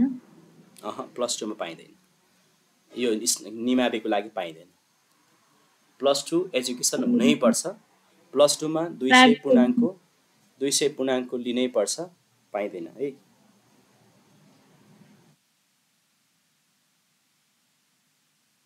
माविको लागि चाहिँ पाइन्छ। आर्ट्सबाट पनि कमर्सबाट पनि है? तर मुख्य विषय यो हुनु पऱ्यो फेरि। अरू विषयमा पाइँदैन फेरि। कमर्स पढेर बिजनेस पढेको छ भने कमर्समा बिजनेस गरेको छ भने त्यसले पाइँदैन फेरि है? लेखा गरेको छ भने पाइयो एकाउन्ट गरेको छ भने। सर त्यो बढुवाको लागि कस्तो नियम अरे? एकचोटि भन्नु। ए बढुवा पाँच वर्ष पछाडि हामी जस्तै थाई नियुक्ति हुन्छौँ नि होइन? थाई नियुक्ति भएपछि हाम्रो चाहिँ भनौँ न अनुभव चाहिँ के हुनु पऱ्यो भन्दा पाँच शैक्षिक सत्र पुरा गरेको हुनुपर्छ हामीले। पाँच शैक्षिक सत्र पुरा गरिसकेपछि बढुवा हुन पाउँछ। है? हामी त सुरुमा छिर्ने बेलामा तिनवटा श्रेणी छ कि अहिलेको व्यवस्था अनुसार प्रथम श्रेणी द्वितीय श्रेणी अनि तृतीय श्रेणी भनेर तिनवटा श्रेणी छ होइन। हामी सुरुमा छिर्ने बेलामा तृतीय श्रेणीमा छिर्ने हो। है प्रावि तृतीय ल प्राविको तृतीय श्रेणीमा छिर्यो अरे एकजना शिक्षक होइन? आयोग पास गरेर। त्यो पहिलो स्टेप हो त्यो। अनि काम गर्दै गयो पाँच शैक्षिक सत्र उसले चाहिँ काम गर्यो। पाँच शैक्षिक सत्र काम गरिसकेपछि अब बढुवा हुन पाउँछ बढुवाको लागि एप्लाई गर्न पाउँछ। र कसरी एप्लाई हुन्छ अहिले भन्दाखेरि एघारौँ संशोधनले के व्यवस्था गरेको छ भन्दा सय प्रतिशत कोटालाई चाहिँ दुई भागमा बाँडिन्छ होइन सेभेन्टी फाइभ र सयलाई चाहिँ सेभेन्टी फाइभ सेभेन्टी फाइभ पचहत्तर पर्सेन्ट र पच्चिस पर्सेन्ट भनेर दुई भागमा चाहिँ बाँडिन्छ। है जस्तै सयवटा कोटा छ अरे होइन? देशभर चाहिँ सयवटा कोटा चाहिँ बढुवाको लागि छ अरे है? सेकेन्ड क्लासमा द्वितीय श्रेणीमा पुर्याउनलाई चाहिँ प्रावि तहको योभन्दा बढी हुन्छ मैले एउटा इक्जामको लागि दिएको सयवटा कोटा छ अरे होइन? सयवटा कोटामा पचहत्तर पर्सेन्ट चाहिँ के त? के गर्छ भने फाइल बढुवा गराउँछ यो चाहिँ फाइलबाट।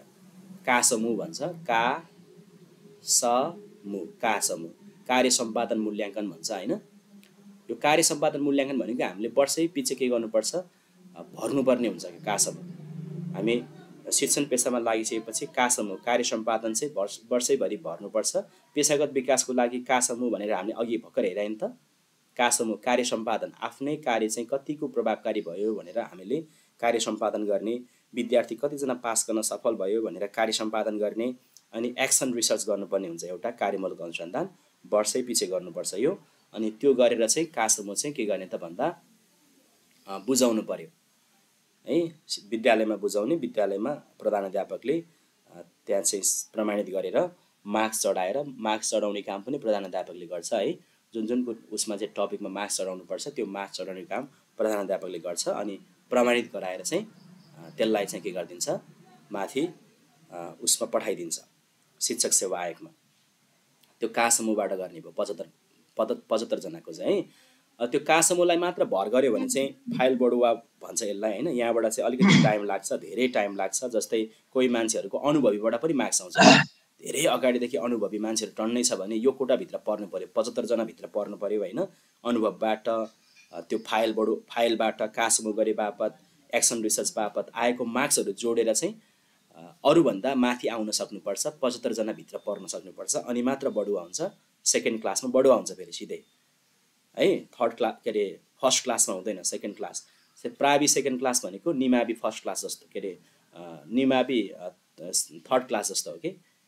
प्रावि सेकेन्ड क्लास द्वितीय श्रेणीमा बढुवा भयो भने त्यो भनेको निमावि सरहको तलब पाउने हो उसले।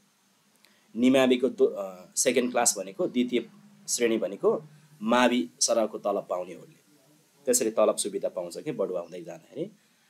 यो पचहत्तरजनाको यसरी हुन्छ अनि यो पच्चिस पर्सेन्टको चाहिँ के हुन्छ भने खुला आयोगबाट चाहिँ परीक्षा दिनुपर्ने हुन्छ कि। पचहत्तर पर्स के अरे पच्चिस पर्सेन्टको चाहिँ के गर्छ त परीक्षा खुलाउँछ विज्ञापन खुलाउँछ अनि त्यसमा चाहिँ फर्म भरेर परीक्षा दिनुपर्छ पास गऱ्यो भने यो पच्चिसजनाभित्र पऱ्यो भने अनि बढुवा भयो। सो यदि ट्यालेन्ट टिचर छ भने होइन आयोग पास गर्न सक्ने क्षमतावान टिचर छ भने यो पच्चिस पर्सेन्टको यो पच्चिसजना भित्रमा पनि उसले चाहिँ कम्पिटिसन गरेर पाँच वर्षपछि बढुवा हुन पाउँछ। पाँच वर्षपछि यदि खुल्यो भने यो बढुवाको खुल्यो भने अहिले खुल्या छ नि त बढुवाको हो कि होइन? अहिले बढुवाको खुल्या छ है त्यो बढुवामा चाहिँ एप्लाई गर्न पाउँछ। त्यहाँ एप्लाई गरेर परीक्षा दिएर चाहिँ पाँच वर्षभित्रमै थाहै भएको पाँच वर्षभित्रमै सेकेन्ड क्लास पनि पुग्छ मान्छेहरू। थ के अरे फर्स्ट क्लास पनि पुग्छ। त्यसरी चाहिँ बढुवा हुन पनि सक्छ। त्यो चाहिँ आफ्नो क्यापासिटीमा भर पर्छ है। नत्र फाइल बढुवालाई कुर्नुपर्छ पन्ध्र वर्ष बिस वर्ष लाग्छ। कसैको अलि राम्रो गरेर उसको चाहिँ सबैबाट मार्क्स आएको छ भने नौ दस वर्षमा दस पन्ध्र वर्षमा हुन्छ दस बाह्र वर्षमा। नत्र टाइम लाग्छ। अनियमित त्यही भएर त अहिले विरोधमा पनि त्यही कुरा आएको हो किन बढुवाको एउटा नियमित ऊ चाहिँ चाहियो। यति वर्षपछि यदि अवधि पुरा गरेपछि अनिवार्य बढुवा हुने चाहिँ व्यवस्था गर्नु पर्यो भन्ने छ। है? अब कहिले बढुवा हुन्छ भन्ने नै थाहा छैन त। यहाँ शिक्षकको त। कि त जाँच दिनु पऱ्यो जाँच दिएर नत्र जाँच दिएन भने कुर्नुपर्छ। बिस वर्ष कुर्नु कुर्नु पनि पर्न सक्छ अथवा बढुवा पनि नहुन सक्छ। त्यस्तो अवस्था पनि आउन सक्छ।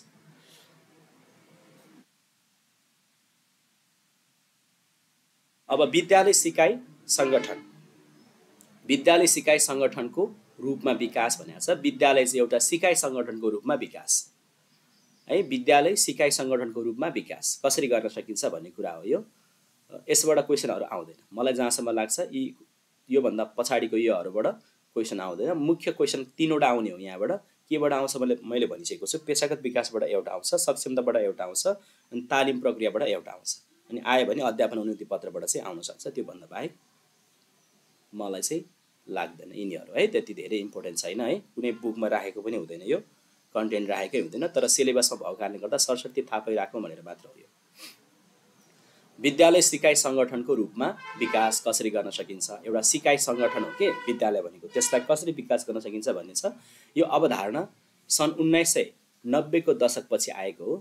है कहिलेबाट आएको? उन्नाइस सय नब्बेको दशकपछि आएको हो। यो सिकाइ सङ्गठनको अवधारणा ल्याउने भनेको पिटर सेन्स भन्ने व्यक्ति है पिटर सेन्स भन्ने व्यक्ति उसले Peter Senge in Fifth Discipline भन्ने पुस्तक आफ्नो पुस्तकमा चाहिँ यो अवधारणा चाहिँ सिकाइ सङ्गठनको बारेमा राखिएको थियो। है सिकाइ सङ्गठनको अवधारणा कसले ल्याएको हो भन्यो भने कसले ल्याएको त पिटर सेन्सले ल्याएको उसको आफ्नो Peter Senge in Fifth Discipline भन्ने पुस्तकमा चाहिँ राखिएको थियो। त्यसपछि सिकाइ सङ्गठन भने के त यसको अवधारणा बुझौँ। त्यस्तो संस्था सङ्गठन भनेको संस्था है त्यस्तो संस्था जसले त्यहाँ काम गर्ने कर्मचारीहरूलाई नियमित रूपमा सिक्ने अवसर प्रदान गरी समय अनुकूल है समय अनुकूल आफूलाई रूपान्तरण गर्न सक्ने अवसर दिने गर्दछ। त्यस्तो संस्थालाई के भनिन्छ त? सिकाइ सङ्गठन भनेर भनिन्छ। है त्यस्तो संस्था जसले चाहिँ के त काम गर्ने कर्मचारीलाई सिक्ने वातावरण बनाइदिन्छ के? अब हामी विद्यालयमा काम गर्ने शिक्षकहरू त्यहाँबाट पनि हामीले धेरै कुराहरू सिक्नुपर्छ नि त विद्यालयबाट पनि हो किन? धेरै अवसरहरू पाउनुपर्छ। सिक्ने वातावरण त्यहाँ हुनुपर्छ। हो यदि सिक्ने वातावरण भयो भने त्यो विद्यालय के त सिकाइ सङ्गठनको रूपमा विकास भयो भन्ने हुन्छ। है सो विद्यालय एउटा सिकाइ सङ्गठन हो जसबाट हामीले धेरै कुराहरू सिक्न सक्छौँ। सिक्ने अवसरहरू प्राप्त गर्न सक्छौँ। प्रभावकारी सेवा प्रवाह निर्दिष्ट लक्ष्य प्राप्ति ज्ञानात्मक कार्य है कार्यको वातावरण सृजनात्मक सिकाइ वातावरणको निर्माण गर्दै परिवर्तित सन्दर्भ अनुरूप सङ्गठनलाई प्रतिस्पर्धी नतिजामूलक बनाउने सोचका साथ आएको अवधारणा भनेको के त? विद्यालय सिकाइ सङ्गठन विद्यालय सिकाइ सङ्गठनमा विद्यालयका प्रधानाध्यापक शिक्षक लगायतका शिक्षण सिकाइ क्रियाकलापका लागि सक्षम एवं जिम्मेवार बनाउनु पर्ने अवधारणाका साथ चाहिँ अघि सारिएको अवधारणा नै के हो त? विद्यालय सिकाइ सङ्गठन हो। है यो सिकाइ सङ्गठनमा चाहिँ जस्तै प्रधानाध्यापकको शिक्षकको यिनीहरूको क्रियाकलाप चाहिँ एकदमै जिम्मेवारपूर्ण हुन्छ है। है पढाउने मात्र होइन अरू सबै कुरामा सिक्ने सिकाउने कुरामा चाहिँ जिम्मेवारपूर्ण हुन्छ है भन्ने धारणाका साथ चाहिँ यो विद्यालय सिकाइ सङ्गठनको अवधारणा आएको हो। यो सरस्वती कन्सेप्ट बुझ्ने हो यहाँबाट है। ल पिटर सेन्सले ल्याएको भने होइन यसले चाहिँ सिकाइ सङ्गठन हुनको लागि पाँचवटा कुरा चाहिन्छ है भनेको छ। एउटा प्रणालीगत सोच एउटा सिस्टममा जानुपर्ने कि प्रणालीगत रूपमा जानुपर्ने प्रणालीगत सोच हुनुपर्ने अरे पहिलो शर्त पहिलो विशेषता। दोस्रो भनेको व्यक्ति व्यक्तिगत विज्ञता।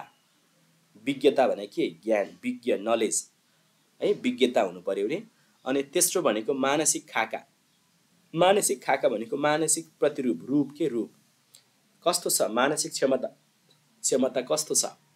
त्यो हुनु पऱ्यो अरे त्यसपछि सामूहिक दृष्टिकोण हुनु पऱ्यो अरे सामूहिक दृष्टिकोण सँगै मिलेर काम गर्ने दृष्टिकोण सहकारीमूलक काम गर्ने दृष्टि दृष्टिकोण सहभागितात्मक क्रियाकलापमा संलग्न हुने दृष्टिकोण त्यस्तो हुनु पऱ्यो अरे अनि समूह सिकाइ गर्न सक्नु पऱ्यो अरे। यति भयो भने चाहिँ सिकाइ सङ्गठन हुन्छ भनेर चाहिँ पाँचवटा भनेको छ है।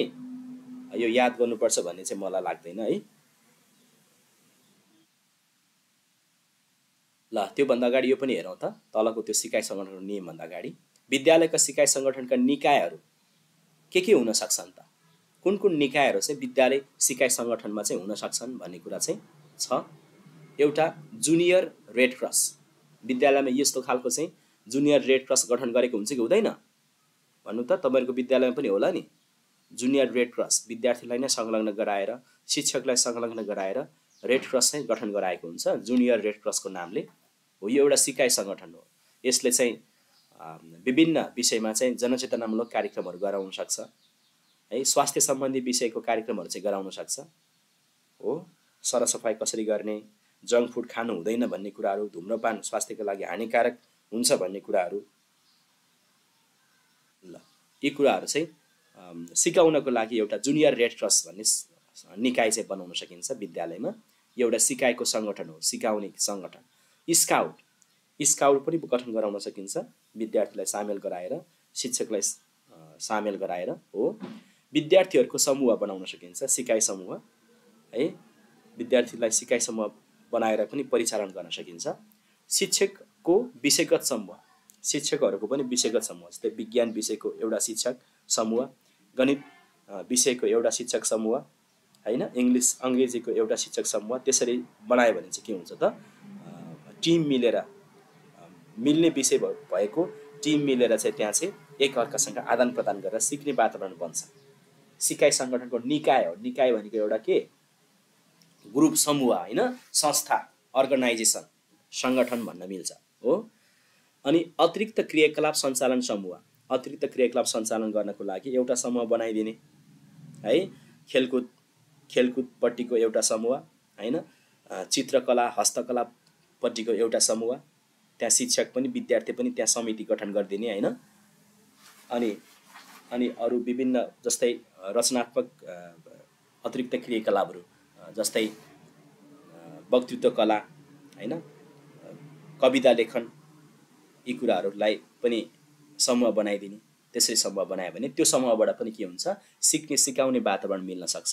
अनि बाल क्लब बाल क्लब बाल क्लब गठन गरेर बाल क्लब मार्फत जनचेतनामूलक कार्यक्रमहरू सञ्चालन गर्ने अरू विद्यार्थीलाई सिकाउने यसरी पनि सिकाइ सङ्गठन चाहिँ विकास गर्न सक्छ विद्यालयमा। है विद्यालयको सिकाइ सङ्गठनहरूमा तलको कुन पढ्छ कुन पढ्दैन भन्ने प्रश्नको लागि यो हेर्नु होला। तपाईँले व्यावहारिक रूपमा बुझ्नुभयो भने भइहाल्यो। मेरो विद्यालयमा के के छ भनेर बुझ्नुपर्छ। जुनियर रेड क्रस हुनसक्छ स्काउट विद्यार्थीहरूकै समूह हुनसक्छ शिक्षकहरूको विषयगत समूह हुनसक्छ अतिरिक्त क्रियाकलाप सञ्चालन गर्ने समूह हुनसक्छ अनि बाल क्लब बाल सञ्जालहरू हुनसक्छ। ल सिकाइ सङ्गठनका नियमहरू कसरी चाहिँ सिक्ने भनेको यो है? नियम भनेको यो ठ्याक्कै यही नियम भन्ने हुँदैन होइन? तरिका कि कसरी चाहिँ विद्यालय सिकाइ सङ्गठन चाहिँ हुने विद्यालय सिकाइ सङ्गठनमा कसरी सिक्ने सिकाउने भन्ने कुरा हो यो यो नियमहरू। परिवर्तनका लागि सधैँ अग्रसर हुने पहिलो नियम हेर्नुहोस् त। विद्यालय सिकाइ सङ्गठनमा के गर्ने त? सिक्नको र सिकाउनको लागि परिवर्तनका लागि सधैँ अग्रसर हुने। है?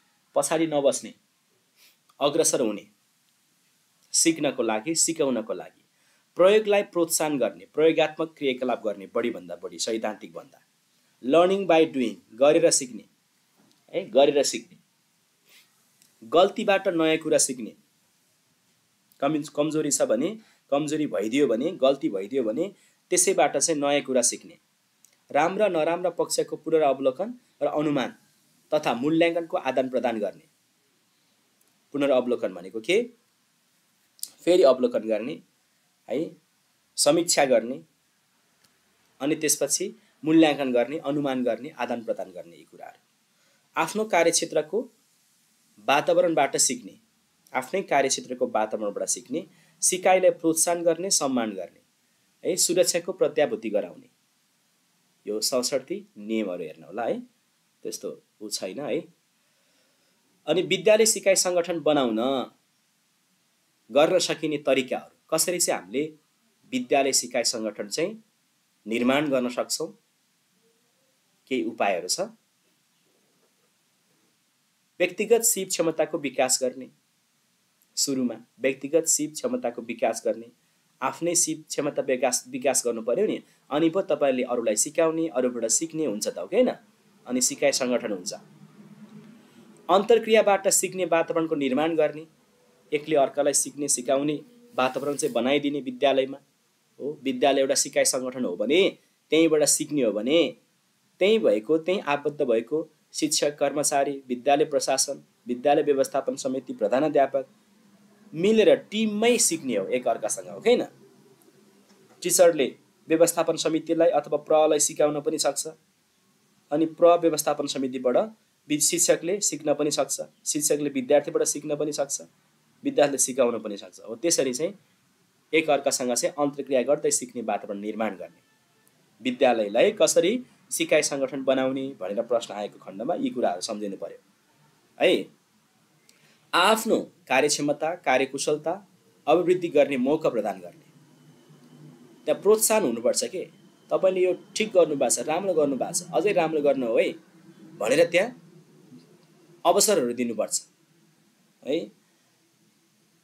अब प्रोजेक्ट प्रोजेक्ट के अरे प्रोजेक्टर राखिएको छ अनि त्यसपछि स्मार्ट बोर्डहरू राखिएको छ भने ल्यापटप वितरण गरिदिने। ल ल्यापटप चलाउनुहोस् सिक्नुहोस् घरमा लगेर सिक्नुहोस् अनि त्यसपछि प्रयोग गर्नुहोस् तपाईँले पनि पिपिटी बनाउनुहोस् पावर पोइन्टमा प्रेजेन्टेसनका सब उहरू बनाउनुहोस् त्यसपछि पढाउनुहोस् भनेर चाहिँ दिइदिने अथवा तालिमहरू दिइदिने होइन? सिक्ने वातावरण अवसरहरू चाहिँ के गर्ने त? मौकाहरू चाहिँ प्रदान गर्ने। समूह कार्य सहकार्यात्मक कार्य सहभागितात्मक कार्य यस्ता कुराहरूमा जोड दिने। समूह कार्य टिमवर्क होइन? सहकार्यात्मक कार्य एकअर्कासँग सहयोग गरेर गरिने कार्य सहभागितात्मक कार्य सबैजना सहभागी भएर गरिने कार्य हो त्यस्तो कार्यमा जोड दिने। त्यसो हुँदा के हुन्छ? एकले अर्कोसँग चाहिँ सिक्ने वातावरण निर्माण हुन्छ। विद्यालय एउटा सिकाइ सङ्गठन बन्छ। सिकेका ज्ञान सिप खुला रूपमा आदान प्रदान गर्ने यो भनेको अन्तर्क्रिया गर्ने भन्ने जस्तै भइहाल्यो। हरेक व्यक्तिका नयाँ नयाँ विचार ल्याउने कार्यलाई सहर्ष स्वागत र प्रोत्साहन गर्ने। कसै कसैले एकदम क्रिएटिभ नयाँ नयाँ विधिहरू चाहिँ ल्याएर चाहिँ भनिदिने हुन्छ त्यहाँ। ल यस्तो पनि आइडिया लाउन सकिन्छ नि सर म्यामहरू भनेर चाहिँ त्यहाँ भन्न सक्छ। हो त्यस्तो विचारलाई के गर्ने त? स्वागत गर्ने। यो जान्ने बन्छ भनेर चाहिँ त्यसलाई चाहिँ के गर्ने के नगर्ने त भन्दा वास्ता नगर्ने खालको दबाउन खोज्ने खालको नगर्ने के? के गर्ने? प्रोत्साहन गर्ने। राम्रो कुरा ल्याउनु भयो भनेर प्रोत्साहन गर्ने। है यो गर्नुको साटो फेरि विद्यालयमा त के हुन्छ? एक अर्कासँग के हुँदो रहेछ भन्दा मभन्दा जान्ने बन्छ यो भन्ने खालको हुन्छ अनि रिस देखाउँछ। रिस हुनसक्छ डाहा हुनसक्छ हो। त्यस्तो नगर्ने। के गर्ने त? अर्को व्यक्तिले दोस्रो व्यक्तिले नयाँ कुराहरू नयाँ विधि ल्यायो भने सहर्ष स्वीकार गर्ने प्रोत्साहन गर्ने। संस्थाभित्रको कार्य संस्कृति कार्य प्रक्रिया सङ्गठन निर्णय प्रक्रियाको प्रक्रियामा चाहिँ समुदायको पनि सहभागिता गराउने। हेर्नुहोस् त किन समुदायको किन सहभागिता गराउने? समुदायले पनि त्यहाँ सल्लाह सुझावहरू दिन सक्छ नि सिकाउन सक्छ नि हो कि होइन? है? संस्थाभित्रको जे जुनसुकै कार्य भए पनि है? जस्तोसुकै कार्य प्रक्रियाहरू भए पनि सङ्गठन अनि निर्णय लगायतका प्रक्रियामा पनि के गर्ने त समुदायको पनि के गर्ने सहभागिता गर्ने। त्यसैले हामीले एकाइ चारमा विद्यालय र समुदाय बिचको सम्बन्ध भनेर पढ्नुपर्ने हुन्छ। किन त्यसो भएको? सम्बन्ध सुमधुर बनाउनु परेको किन भन्दाखेरि दुवैले एक अर्कासँग चाहिँ सेयरिङ गर्दै होइन अन्तर्क्रिया गर्दै विद्यालयले राम्रो बनाउनुपर्छ भन्ने मान्यताको साथ चाहिँ त्यो एकाइ पनि हामीले पढ्नुपर्ने हो। हामीले बुझ्नको लागि त्यो त्यो खालको वातावरण निर्माण गर्ने गर्न सक्षम बन्नको लागि। ल सिकाइ सङ्गठन विद्यालयले सिक्ने एउटा वातावरण यो सिकाइ सङ्गठन भनेको सिक्ने वातावरण भनेको सिक्ने संस्था सिक्ने र सिकाउने संस्था चाहिँ कसरी बनाउन सकिन्छ भन्ने कुराहरू सरस्वती तपाईँहरूले हेर्नुहोला बुझ्नुहोला कन्सेप्ट बुझ्नुभयो भने भयो है। ल अर्को पाँच पोइन्ट आठ। अब दुईवटा मात्र टपिक छ। यो बिहानकै कक्षामा सकाउने भोलिबाट नयाँ पाठ पढ्ने गरी। शिक्षकको नैतिक मूल्य मान्यता र उत्तरदायित्व र तिनको परिपालना भनेको छ। यो पनि सरस्वती तपाईँहरूले कन्सेप्ट बुझ्नुभयो भने भयो। नैतिक मूल्य मान्यता भन्ने थाहा छ नि त होइन? हामी सबैलाई थाहा छ। नैतिक मूल्य मान्यता भनेको राम्रो आचरण नीतिगत रूपमा के भन्छ नियमबद्ध रूपमा नियम नियमसङ्गत रूपमा चाहिँ भएको के त? व्यवहार। है आदर्श व्यवहार जसलाई के भन्छ नैतिक मूल्य मान्यता भन्छ हो। सरस्वती यसको अर्थ हेरौँ। मानिसमा भएको सही र गलत कार्य छुट्टाइ सोही अनुसार व्यवहार प्रदर्शन गर्ने गुण भनेको नैतिक मूल्य र मान्यता हो हेर्नुहोस् त। सही र गलत कार्य छुट्टाइ सोही अनुसार व्यवहार प्रदर्शन गर्ने गुण। हो जस्तै जिम्मेवारी इमान्दारिता निष्पक्षता है? वफादारिता एकता जस्ता गुणहरू के त? नैतिक गुणहरू हो। जिम्मेवार हुने आफ्नो कार्यमा एक अर्कासँग जिम्मेवार हुने इमान्दारी हुने निष्पक्ष हुने वफादार हुने है? अनि एकता एकता भनेको मिल्ने यस्तो गुणहरू के त? नैतिक मूल्य मान्यताहरू हो। नैतिकता दर्शनको शाखा हो। एउटा दर्शनको शाखा रहेछ। दर्शन दर्शन भन्ने शास्त्रको के त? नैतिकता भनेको शाखा हो। जसको माध्यमबाट प्रत्येक व्यक्तिले के सही वा के गलत सामाजिक हिसाबले के सही के गलत छ र कसरी यसले हानि पुर्याउँछ भन्ने बारे चाहिँ आफै निर्णय गर्न सक्षम बनाउँछ। नैतिकता भनेको त्यो राम्रो आचरण राम्रो आदर्श भनेको यो। है? राम्रो आचरण राम्रो आदर्श राम्रो व्यवहार है? ल व्यक्तित्वको विकासको पहिलो शर्त के हो? व्यक्तित्व विकासको पहिलो शर्त शिक्षा हो होइन? व्यक्तित्व विकासको पहिलो शर्त के हो? हेर्नुहोस् त नैतिक मूल्य मान्यता हो। व्यक्तित्व विकासको पहिलो शर्त भनेको के हो त? नैतिक मूल्य मान्यता हो साथीहरू। है? ल व्यक्तित्व विकासको पहिलो शर्त के रहेछ? नैतिक मूल्य मान्यता। तपाईँ व्यक्तित्व तपाईँको व्यक्तित्व चाहिँ एउटा आदर्श खालको व्यक्तित्व बनाउनु छ। समाजमा आदर्श व्यक्ति भनेर चिनाउनु छ भने नैतिक मूल्य मान्यता हुनु पर्यो। पहिलो शर्त भनेको नैतिक मूल्य मान्यता। पाँच मानवीय मूल्यहरू के के हुन सक्छन् हेर्नुहोस् है। के के भयो भने मूल मानवीय मूल्यहरू भयो भने चाहिँ हामी नैतिक हुन्छ नैतिकता वान नैतिक वान व्यक्ति हुन्छौँ। भन्दा सत्य सत्य हुनुपर्छ अरे। है? सत्य हुनुपर्छ अरे। अनि त्यसपछि सद्व्यवहार। सद्व्यवहार हुनु पर्यो व्यवहार कस्तो हुनु पर्यो राम्रो हुनु पर्यो राइट कन्डक्ट भन्छ होइन? है? अनि शान्ति शान्ति शान्ति हुनु पर्यो होइन? त्यो भनेको मतलब शान्त स्वभावको हुनु पर्यो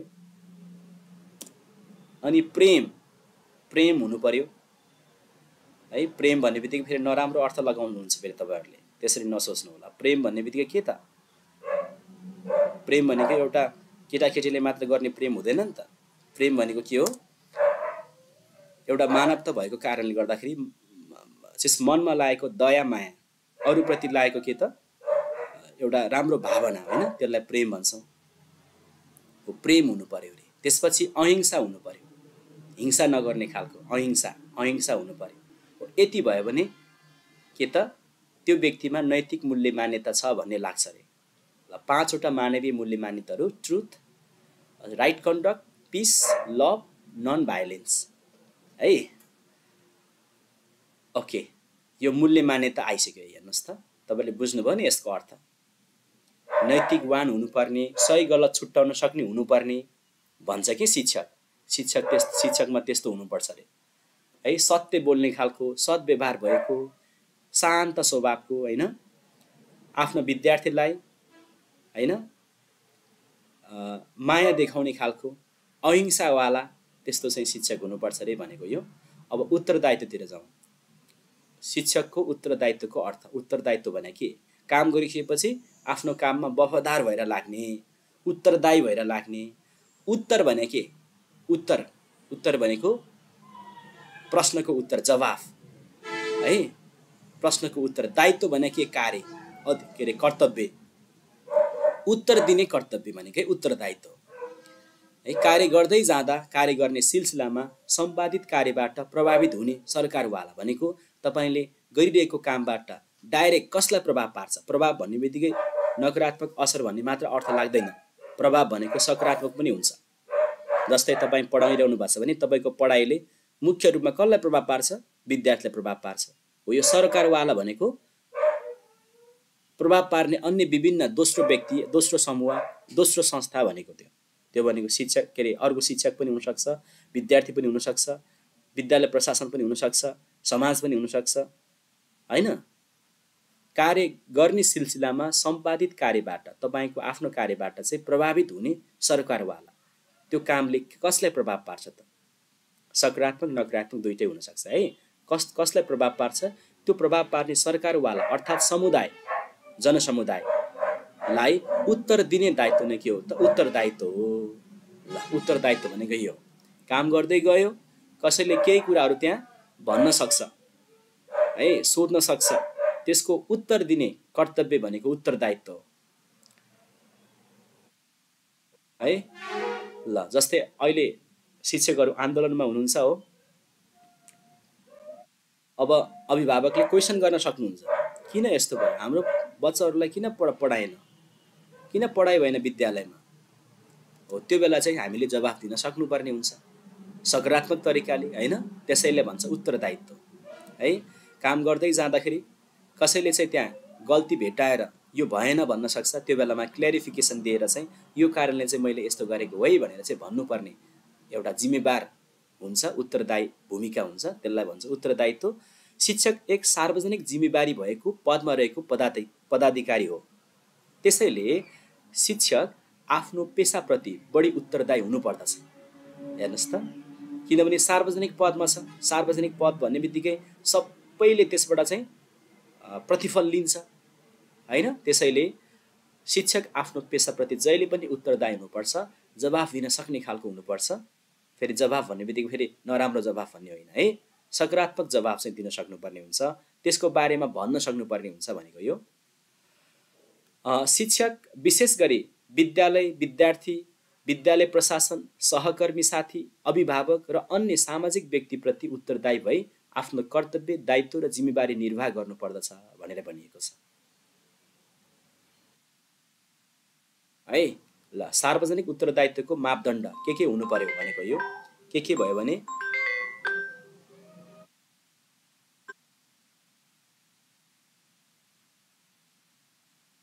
उत्तरदायित्व वहन गरेको भन्ने अर्थ लाग्छ। नियमसङ्गत कार्यविधि भयो भने है नियमसङ्गत कार्यविधि यो बनाउनु पर्ने रहेछ।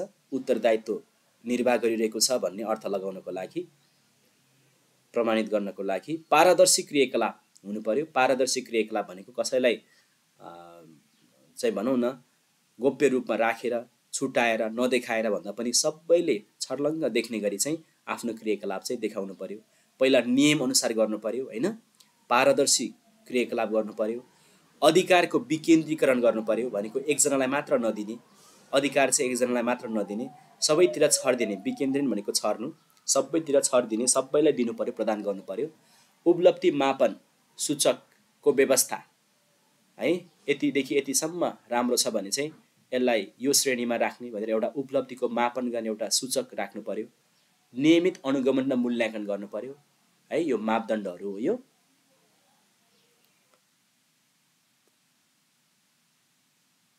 अब शिक्षकमा उत्तरदायित्व कसरी कायम गर्ने त?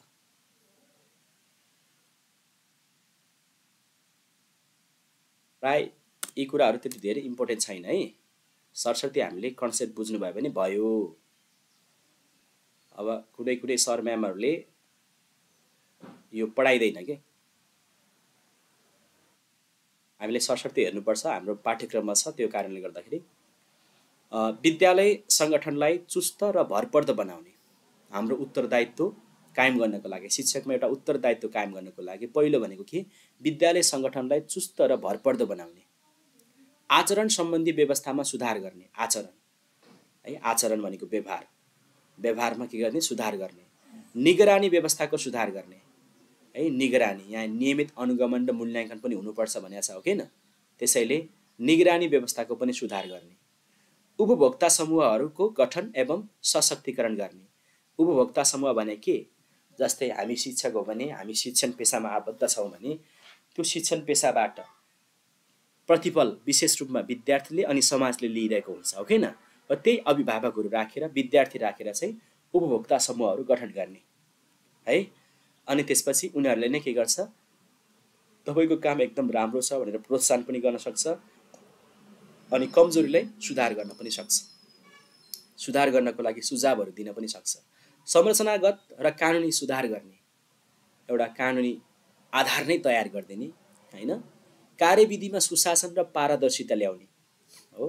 यो माथिकै कुराहरूलाई तपाईँले यो मापदण्डहरू भनेको छ नि यी कुराहरूलाई भन्नुभए पनि हुन्छ कि? एउटै हो। अनि वस्तुगत र स्पष्ट वस्तुगत र स्पष्ट मापदण्ड तोकिनु पर्ने है? वस्तुगत र स्पष्ट मापदण्ड के गर्नुपर्ने? तोक्नु पर्ने गुनासो सुनुवाई। अर्को यो इम्पोर्टेन्ट हेर्नुहोस् त। गुनासो सुनुवाई भने के?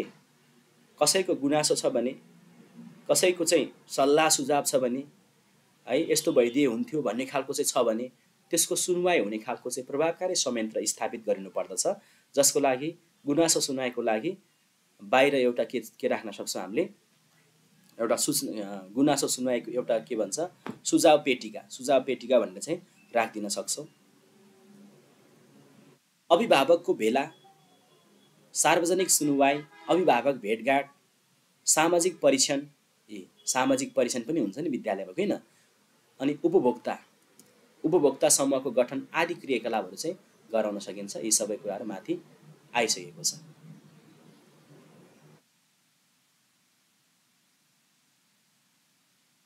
विद्यालय व्यवस्थापन समितिमा उत्तरदायित्व सम्बन्धी भएका प्रयासहरू के के प्रयासहरू भएको छ त उत्तरदायित्व सम्बन्धी? भन्दा शिक्षा ऐन र नियमावलीमा व्यवस्था गरेको छ। के व्यवस्था गरेको छ? विद्यालय व्यवस्थापन समितिको व्यवस्था गरेको छ। शिक्षक अभिभावक सङ्घको व्यवस्था गरेको छ। यही विद्यालय व्यवस्थापन समिति र शिक्षक अभिभावक सङ्घले शिक्षकमा उत्तरदायित्व ल्याउनको लागि विभिन्न प्रयासहरू गर्छ नियमहरू बनाउँछ मापदण्डहरू बनाउँछ हो। विद्यालयको काम कारबाहीको सामाजिक परीक्षणको व्यवस्था पनि गर्ने प्रावधान छ नियममा हो कि होइन?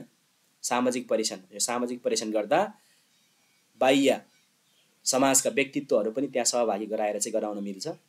है? त्यो एउटा उत्तरदायित्व सम्बन्धी भएको प्रयास भइहाल्यो। लेखा परीक्षण हुन्छ अभिभावक भेलाहरू हुन्छ विद्यालय सुधार योजना हुन्छ निरीक्षण सुपरिवेशनका कामहरू हुन्छ सार्वजनिक सुनवाईको कार्यक्रमहरू हुन्छ। है? ल यो नियममा चाहिँ व्यवस्था भएको कुराहरू भनेर राखेको हो यो।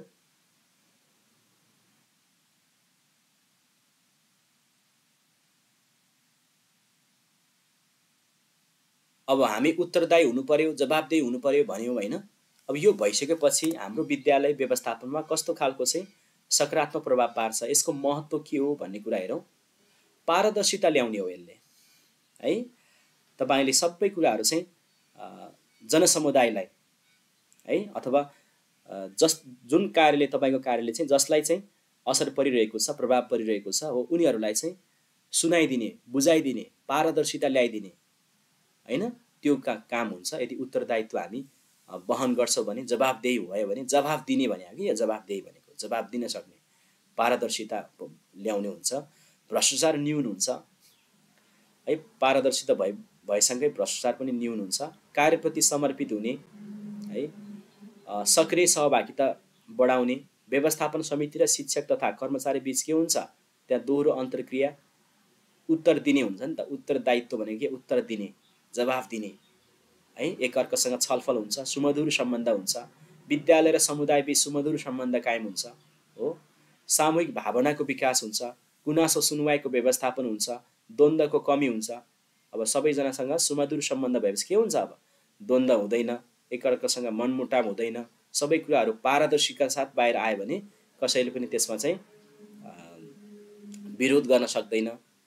हरेक शिक्षक तथा कर्मचारीमा जिम्मेवारी तथा कामको बाँडफाँड हुने अनि शिक्षण सिकाइ क्रियाकलाप पनि त्यसपछि लास्टमा के हुन्छ? यो सबै भइसकेपछि प्रभावकारी हुन्छ। अन्तिममा गएर सबै कुरा भइसकेपछि यसको अन्तिम निष्कर्षमा के हो त? शिक्षण सिकाइ क्रियाकलाप प्रभावकारी हुनु। यसरी चाहिँ उत्तरदायित्व र जवाबदेहिताको महत्त्व छ।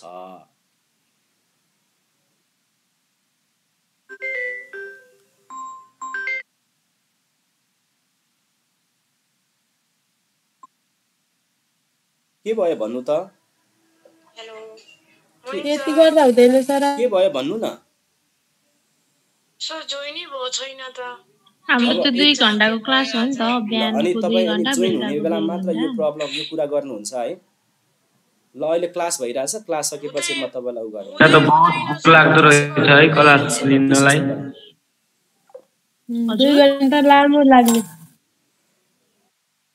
पहिलाकै ठिक थियो नि अब के गर्नु साथीहरूले गर्नु पहिला ठिक थियो नि यो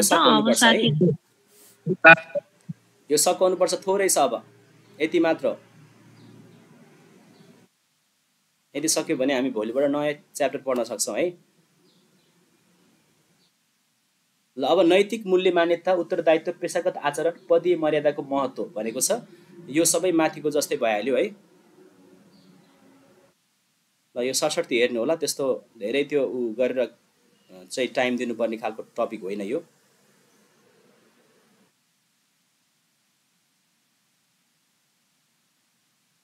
अब यो शिक्षकको नैतिक मूल्य मान्यता उत्तरदायित्व पेसागत आचरण र पदीय मर्यादा सम्बन्धमा ध्यान दिनुपर्ने पक्षहरू भनेको छ। यो नियमअनुसार चाहिँ के के गर्नुपर्छ भन्ने कुराहरू छ है। अब सङ्घीय शिक्षा ऐनहरू शिक्षा ऐनहरू चाहिँ लागू गर्नुपर्ने कुराहरू छ। यो तपाईँहरूले सरसर्ती हेर्नु होला अ, अर्को अलिक इम्पोर्टेन्ट भनेको चाहिँ यो सो प्रयत्नमा आधारित जीवन पर्यान्त सिकाइ भन्ने छ। शिक्षकमा यो पनि हुनुपर्छ। सो प्रयत्नमा आधारित जीवन पर्यान्त सिकाए सो प्रयत्नमा आधारित जीवन पर्यान्त सिकाए यो भने केसँग सम्बन्धित? पेसागत दक्षतासँग सम्बन्धित हो किन पेसागत दक्षता अभिवृद्धि गर्नको लागि सो प्रयत्नमा आधारित जीवन पर्यान्त सिकाइ हुनुपर्छ भन्ने कुरा छ।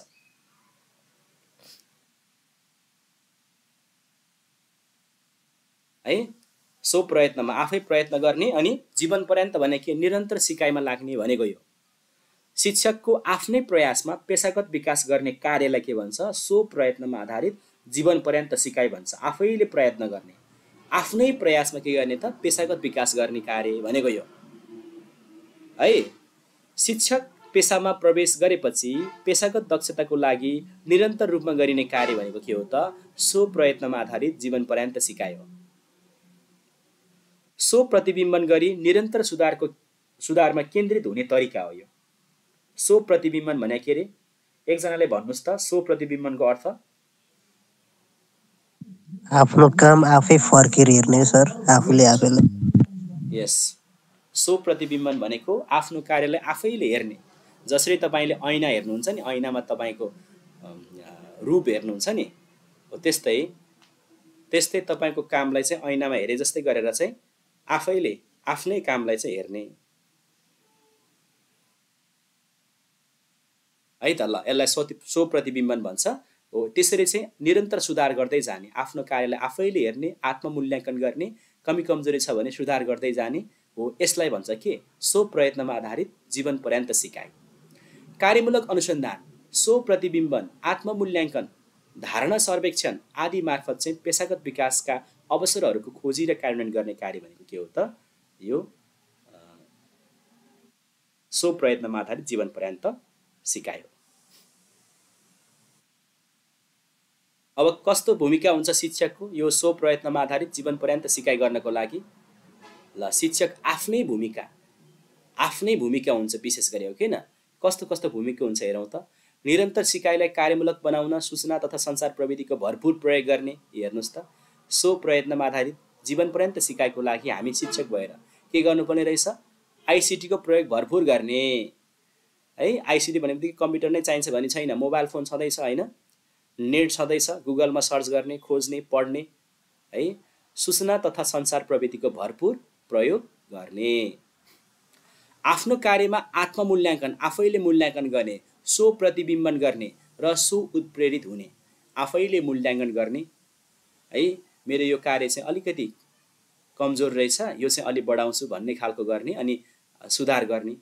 अनि राम्रो पक्षलाई आफैले के गर्ने त प्रोत्साहन गर्ने यो चाहिँ मेरो बेस छ है यो पक्ष चाहिँ भन्ने अनि आफै उत्प्रेरित हुने सो उत्प्रेरित हुने। रिडर्स क्लबमा आबद्ध भई अनुभव आदान प्रदान गर्ने यो रिडर्स क्लब भनेको पढ्ने वातावरण भएको एउटा क्लब हो त्यो क्लबमा आबद्ध भएर के गर्न सकिन्छ? अनुभवहरू आदान प्रदान गर्न सकिन्छ।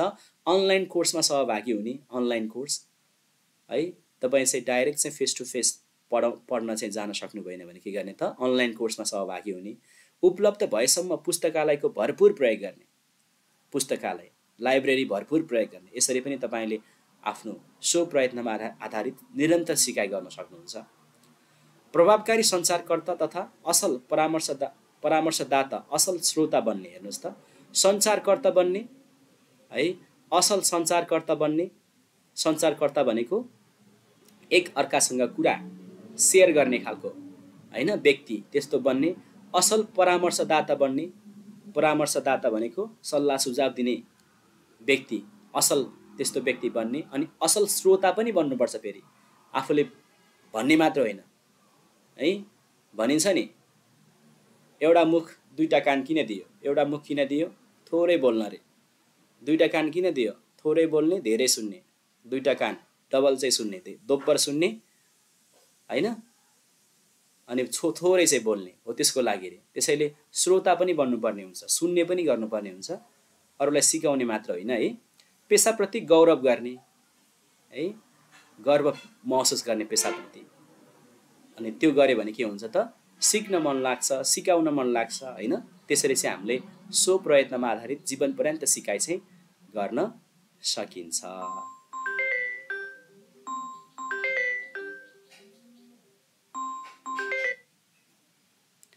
शिक्षक पेसागत विकास प्रारूप दुई हजार बहत्तरमा शिक्षक पेसागत विकासका लागि सो प्रयत्नमा आधारित सिकाइ भनेको छ। यो सरस्वती हेरे पुगिहाल्यो है।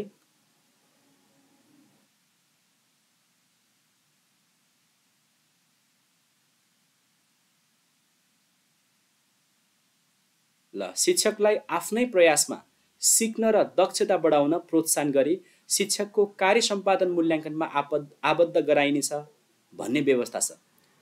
यो शिक्षक पेसागत विकास प्रारूप दुई हजार बहत्तरमा सो प्रयत्नमा आधारित सिकाइ गर्नको लागि के व्यवस्था छ त? के भनेको छ त? शिक्षकको कार्य सम्पादन मूल्याङ्कनसँग आबद्ध गरिने भनेको छ। कार्य सम्पादन मूल्याङ्कन गर्नै पर्छ भन्ने व्यवस्था छ कि? कार्य सम्पादन भनेको थाहा छ नि होइन? आफ्नो कार्यको सम्पादन गर्ने एडिट गर्ने। कमी कमजोरी छ भने त्यसलाई हटाउने नयाँ कुराहरू थप थप्नु पऱ्यो भने नयाँ कुरालाई थप्ने। सञ्चार प्रविधिको उपयोग गरी सिक्ने र दक्षता बढाउने शिक्षकका लागि अनलाइन कोर्सको व्यवस्था गर्ने। अनलाइन कोर्सको कोर्सको व्यवस्था गर्ने भन्ने पनि व्यवस्था छ यो। पेसागत विकास प्रारूप दुई हजार बहत्तरमा। अनि अनलाइन माध्यमले सिक्न र दक्षता बढाउन चाहने शिक्षकको दक्षता प्रमाणीकरण गर्ने। हेर्नुहोस् त अनलाइन माध्यमबाट सिकेको शिक्षकहरूको जुन दक्षता क्षमता त्यसलाई के गर्ने त प्रमाणीकरण पनि गर्ने भनेर भनेको छ। प्रमाणीकरण भनेको के हो त? प्रमाणपत्र दिने भनेको छ। अनलाइनबाट कोर्स उसले लिएको छ भने त्यसको प्रमाणीकरण पनि गर्ने भनेर भनेको छ। ल यो तलको लास्ट लास्टको चाहिँ धेरै त्यति इम्पोर्टेन्ट छैन है। सरस्वती कन्सेप्ट बुझेर जानुभयो भने हुन्छ। क्वेसन चाहिँ मलाई जहाँसम्म लाग्छ है यहाँबाट तिनवटा मात्र क्वेसन आ आउने कारणले गर्दाखेरि त्यहाँबाट क्वेसनहरू पर्दैन। हेलो सर हजुर भन्नु न सुनिरहेको छु सर यो अध्यापन अनुमतिको वर्तमान